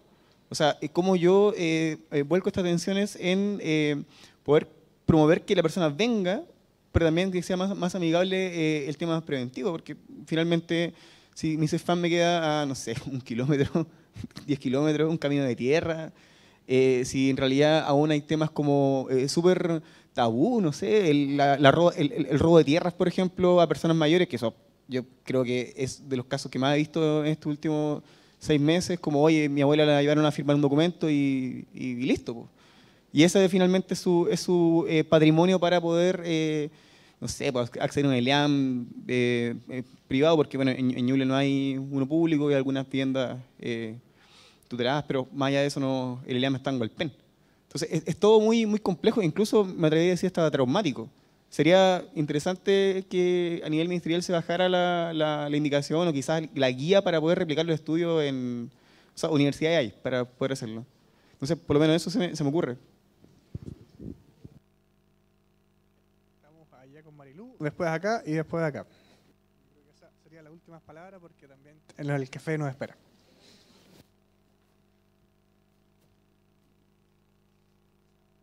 Permiso, yo me voy a parar, pero porque los quiero ver. y porque soy patúa y estoy en confianza. ¿Ya? Bueno, yo soy Marilu Budini, soy médico geriatra y me encuentro hoy día en representación del Consejo Asesor de Salud Mental. Pero debo declarar también eh, que, digamos, me cierto parte de la familia de la, de la, demencia. Y en relación a eso, quiero un poco compartir y hacer un llamado. No tuve la posibilidad de estar ayer eh, acá presente, pero sí pude escuchar la, las presentaciones. Y la verdad es que me emociona que estemos hoy día acá. De verdad que sí, porque hace 11 años atrás, el año 2012, tuvimos la oportunidad con varios de los que están en este panel de participar en la, em, en la organización del Congreso Iberoamericano de Alzheimer. Y en ese momento hicimos una mesa de políticas públicas y Chile no pudo presentar. Chile no pudo presentar su experiencia en demencia. No porque no tuviéramos políticas públicas, no porque no hubiera gente trabajando, ni distintos esfuerzos, pero no había algo constituido que se pudiese presentar. Y hoy día estamos acá y cada uno de ustedes representa a mucha gente, a muchos equipos, a muchos profesionales y a muchas familias y si ustedes algunos son de salud, sino que también a personas del territorio. O sea, de verdad que esto ha cambiado. Y no ha cambiado solo, no cambia de forma espontánea, sino que cada uno de los que estamos acá y todos los que representan y esas familias y esos usuarios, somos los que vamos generando los cambios. Y que lo que les muestro hoy día acá, estas tres personas que son maravillosas y que tienen una gran trayectoria de trabajo, eh, son personas igual que nosotros. no por desmerecer los amigos, sino porque en el fondo me refiero de que cada uno ha tenido una trayectoria de esfuerzo y de motivación y que cada uno lo que ha mostrado en el fondo y también se han sentido solos, les ha costado encontrar cosas, les ha costado encontrar recursos, entonces de verdad... Eh, nada, solo quiero agradecer que exista esta instancia porque todas estas cosas en el fondo se pelean. Eh, y que desde el punto de vista ahora desde, desde, desde, el, Consejo y de la instancia de lo que se quiere trabajar como de la participación o de cómo favorecemos la participación ciudadana en las políticas públicas, esto es una instancia de participación.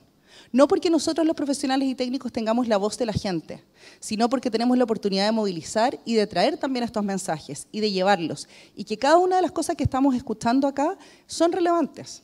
Y en el fondo acá están sentados algunos que nos conocemos, ¿no? Entonces, qué importante que se estén relevando todas estas cosas. O sea, yo ayer escuchaba y de verdad los venía escuchando en el, auto y me emocionaba ver qué es lo que estaban haciendo en el anguilucho, qué es lo que estaban haciendo en, en los espejos y cómo tenemos que potenciar, digo esos nombres porque son los que pude escuchar, eh, pero, pero de verdad, que tomemos el valor de esto y que sepamos que cada trabajo que ustedes hacen con sus comunidades también son instancias de participación.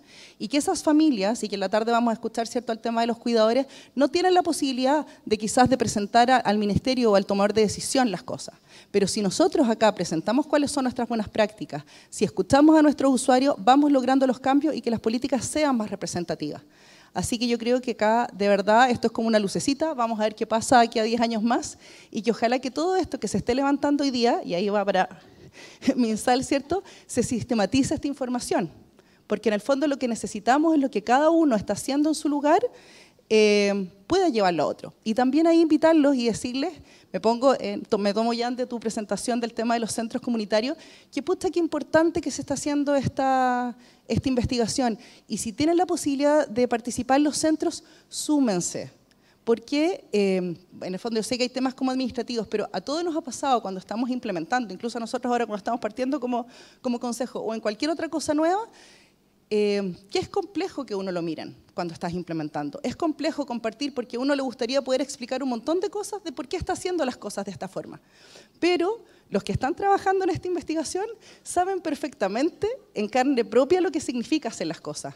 Entonces, en el fondo, estas oportunidades que tenemos como de abrir nuestra realidad, de mostrar el polvo que hay debajo de la alfombra, todas las realidades y todas las dificultades que nos pasan, e-, es la realidad nomás. Entonces, tenemos que hacerlo porque esa es la única forma en que vamos a poder hacer que las cosas avancen más rápido. Claudia les decía cuánto se demoraron del 2014 al 2019 en lograr, algo. Cuando Claudia y su equipo ya hizo ese esfuerzo y nos da la mano y nos dice, mira, ¿sabéis que podemos trabajar ahora con los cuidadores y podemos hacerlo de tal o cual forma? No tenemos que demorarnos esos mismos cuatro años, porque ellos ya lo sufrieron, ellos ya los vivieron. A nosotros nos va a costar un semestre o nos va a costar tres meses. Entonces, que aprovechemos estas, estas oportunidades. Eso. Muchas gracias.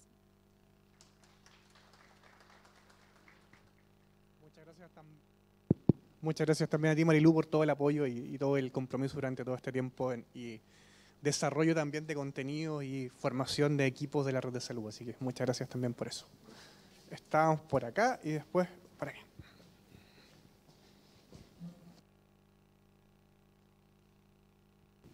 Hola, buenos días a todos y a todas. Eh, soy Ivana Vera, soy del Servicio de Salud de Reloncaví, encargada de persona mayor. Eh, mi pregunta más que nada es para el primer expositor, José Miguel Aravena. Eh, comentar un poco que la zona geográfica que donde vivimos, eh, ya los niveles de contaminación con respecto a Puerto Montt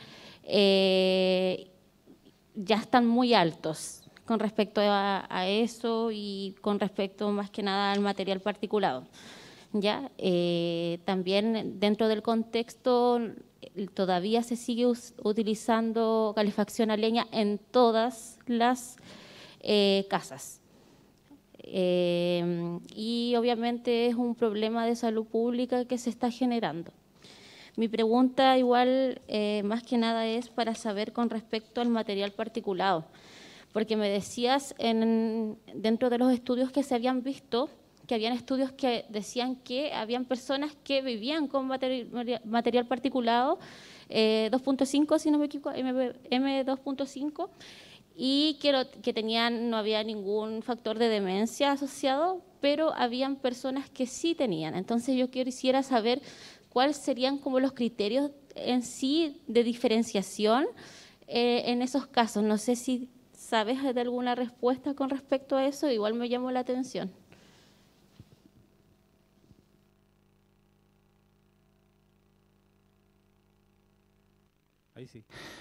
¿Se escucha bien? Sí. Em, disculpa, solo para clarificar tu, pregunta. Me, preguntas en relación a si, es que este material particulado, particularmente el PM2.5, incrementa el riesgo de la demencia, en algunos casos sí, ¿por qué en otros casos no? Eh, me encantaría saber la respuesta. no, pero mira, eh, entiendo para dónde va tu reflexión. La verdad es que en general la exposición a más material particulado, mayores niveles, y en general es una, es, la asociación en muchos estudios se muestra que es como dosis respuesta. ¿Qué quiere decir eso? A más exposición a material particulado, particularmente el del tráfico, el de, el de la producción de lo que es eh, la agricultura, quema de carbón e incendios forestales, ¿sí? se asocia a un mayor riesgo de presentar eh, cualquier tipo de demencia en general. ¿sí? Eh, ¿Cuáles son los mecanismos de acción? Son múltiples, desde lo que es eh, el sistema cardiovascular o como hablábamos ahí, el tema de la inmunosupresión, hasta, por ejemplo, hay estudios muy interesantes donde han, analizado autopsias de cerebros de personas que vivían cerca de carreteras o, lugares que son altamente densos en, tráfico y gente que vive en otros lugares. Y al, analizar las cortes del, cerebro, se encuentran una mayor densidad de, metales pesados en los ventrículos del cerebro, que son estas zonas por donde pasa el líquido cefalorraquídeo. Entonces, no solamente este impacto como más lateral asociado al sistema respiratorio o al sistema cardiovascular, sino que eventualmente podría tener un impacto que es mucho más directo eh, en el mismo cerebro. ¿Qué podemos hacer al respecto? Todo esto es toda esta información muy nueva. Recién ahora estamos tomando conciencia de estos determinantes y de lo importante que son. Eh, lo mismo quisiera tomar el comentario del eh, Nicolás, que muchos de estos estudios que le estoy mostrando y también tomando el comentario de la doctora Lachesky son estudios que se han hecho en población eh, norteamericana, europea, donde usualmente se invierte más dinero para hacer estudios. ¿sí? Eh, entonces está muy fértil esto. No tenemos mucha claridad de cuáles son las intervenciones. Sí tenemos estudios de, por ejemplo, lo que hablábamos, sujetos que vivían en zonas que tenían un altos niveles de eh, polución del aire, donde esos sujetos viven en zonas donde se ha reducido la cantidad de polución en el aire, presentan menos riesgo de desarrollar demencia que los sujetos que siguen viviendo en zonas donde la polución del aire eh, es alta. Entonces, es como evidencia igual alentadora de que, mira, si ponemos estas políticas que son más restrictivas o estructurales, eventualmente esto podría tener un impacto eh, en reducir a lo menos el riesgo de, de desarrollar demencia en ese nivel. Pero a nivel local estamos o sea, necesitamos, estamos bien al debe con todo esto. ¿sí? Zonas rurales, por ejemplo, eh, porque todos los determinantes que les mostré aquí son, son determinantes muy urbanizados. ¿sí? Los determinantes de las zonas rurales son diferentes. Por ejemplo, quizás el acceso a salud es un determinante que tiene más relevancia cuando hablamos del sector eh, urbano o de, rural, o depende quizás del sector rural qué tipo de contaminación es la que se ve expuesto, quizás la de la leña, ahí tenemos otro tipo de, contaminación del aire. ¿Sí? Eh, y lo mismo que mencionaba la doctora también, con respecto a estos factores genéticos. La mayoría de los estudios que nosotros vimos en el gráfico son en población caucásica, entonces también tenemos un, eh, déficit o, tenemos una deuda pendiente con hacer más estudios relacionados a cuáles son los factores genéticos, por ejemplo, que se asocian a, demencia en, nuestra población en particular, si se, ve esta misma tendencia con estos mismos genes o si son otros genes los que predominan. Así que eso. Claro, y por eso ahí el desafío es como también desde los mismos equipos van levantando estas preguntas de investigación, van levantando probablemente procesos de desarrollo o aplicación de las metodologías, probablemente otro estudio en torno a poder levantar esa información. Ahora tenemos las bases de datos, no siempre tenemos los tiempos, lo sabemos, pero probablemente también es como este desafío que veíamos en la mañana, de cómo también vamos repensando nuestra, nuestra, nuestra acción, también cómo vamos pensando nuestra investigación. Última palabra y aquí cerramos. ¿Se escucha? Sí. Eh, bueno, yo soy Pilar Rosamena del Servicio Metropolitano Sur y eh, quería hacer un comentario más que nada con a Minsal, igual, eh, tomando un poco de las últimas palabras. yo veo difícil, o sea, creo que la, investigación es súper importante potenciarla a todos los niveles, pero siempre va a ser, van a ser como algunas intervenciones aisladas y, y creo que tenemos como país como eh, un recurso súper importante que quizás no estamos aprovechando tanto como en base al, último comentario que, hacía. Tenemos registros clínicos que son eh, bastante potentes, pero muchas veces lo que registramos o los indicadores que se piden desde MinSal eh, vienen duplicados, ¿verdad? O, estamos midiendo metas o indicadores que no tienen tanta evidencia. ¿qué, ¿Qué tal si tomáramos todas estas investigaciones que se están haciendo a nivel local y la traspasáramos a los formularios de Rayen, de las distintas fichas clínicas, y ahí podríamos tener una información eh, muy rica y cruzarlo después con eh, la exposición a distintos eh, como determinantes sociales o pesticidas o acceso. O sea, podríamos generar, el, el, dato ya está, solo que quizás estamos levantando datos que, que sobran o son innecesarios. Ya, me cortaron. me censuraron. No, no, pero eso, eso. Ahí no, no sé. No, no, no, sí, en verdad terminé, me, autocensuré, ya me van a, me Pero eso, como aprovechar los registros más que, porque si bien no hay, no hay plata, ¿verdad?, en este país, mucho para investigación, sobre todo para estudios de causalidad, que se necesita como una corte, ¿verdad? O sea, si partimos hoy día, quizás en el futuro vamos a poder tener eh, incidencia y medir esas cosas. Muchas gracias por el, por el comentario eh, y claro, dentro del Ministerio lo, tenemos en cuenta, sobre todo las alianzas estratégicas con los núcleos de investigación, acercar la academia y, los investigadores y las investigadoras a el Plan Nacional de Demencia tiene esa función también, ¿no? que el Plan Nacional se construye entre todos y todas Em, y una parte fundamental también son esas investigaciones y los investigadores asociados. Ahora, claro, el, todo el otro tema de registro y de cómo eso luego se cruza con corte, en fin, es, es un temazo que nos excede por mucho a nosotros, pero por cierto que estamos muy, muy también interesados en que eso se desarrolle. ¿sí? No sé si quieren conversar. ¿Sí? Ya. Estoy como muy de acuerdo con, con lo que planteó Pilar. Sí. Y solo también sumar que, bueno, nosotros por decir así, no me, no me gusta hacer esa, esa, dicotomía como entre la academia, porque yo creo que siempre estamos mirando los problemas, ojalá, en la realidad de las cosas. No lo que a nosotros se nos ocurra o pensar que hay cosas que estén pasando, sino ir, ojalá, bueno, es el ideal, bueno, hablo por mí. Entonces, como en efecto aprender de la realidad de la ejecución de las cosas, porque ahí están los problemas ocurriendo, de verdad, no tenemos que inventarlos nosotros. Y ahí yo creo que, bueno, el mundo actual de nuestro país también hace que, por ejemplo, muchas veces las universidades estén involucradas con los distintos dispositivos o programas, ya sea a través de docencia u otro elemento, y ahí también hay un espacio rico que se puede aprovechar. Eh, muchas veces nos pasa a nosotros que a partir de una visita o diálogos en estas mismas instancias se generan acuerdos que después derivan a un proyecto o a una publicación o a indagar en algo. Me dicen, oye, tenemos estas bases de datos, eh, podemos mirarla o piensa en este proyecto y, y, se van estableciendo ahí diálogos. Y eso también es un espacio que, si bien inicia en lo informal, puede después derivarse a espacios también formales de, de aporte y producción de conocimiento. Bien, quedamos hasta acá entonces con el panel. Muchas gracias a los investigadores, un aplauso de verdad. Eh, volvemos, vamos al cafecito y volvemos 11.40, por favor. Muchas gracias.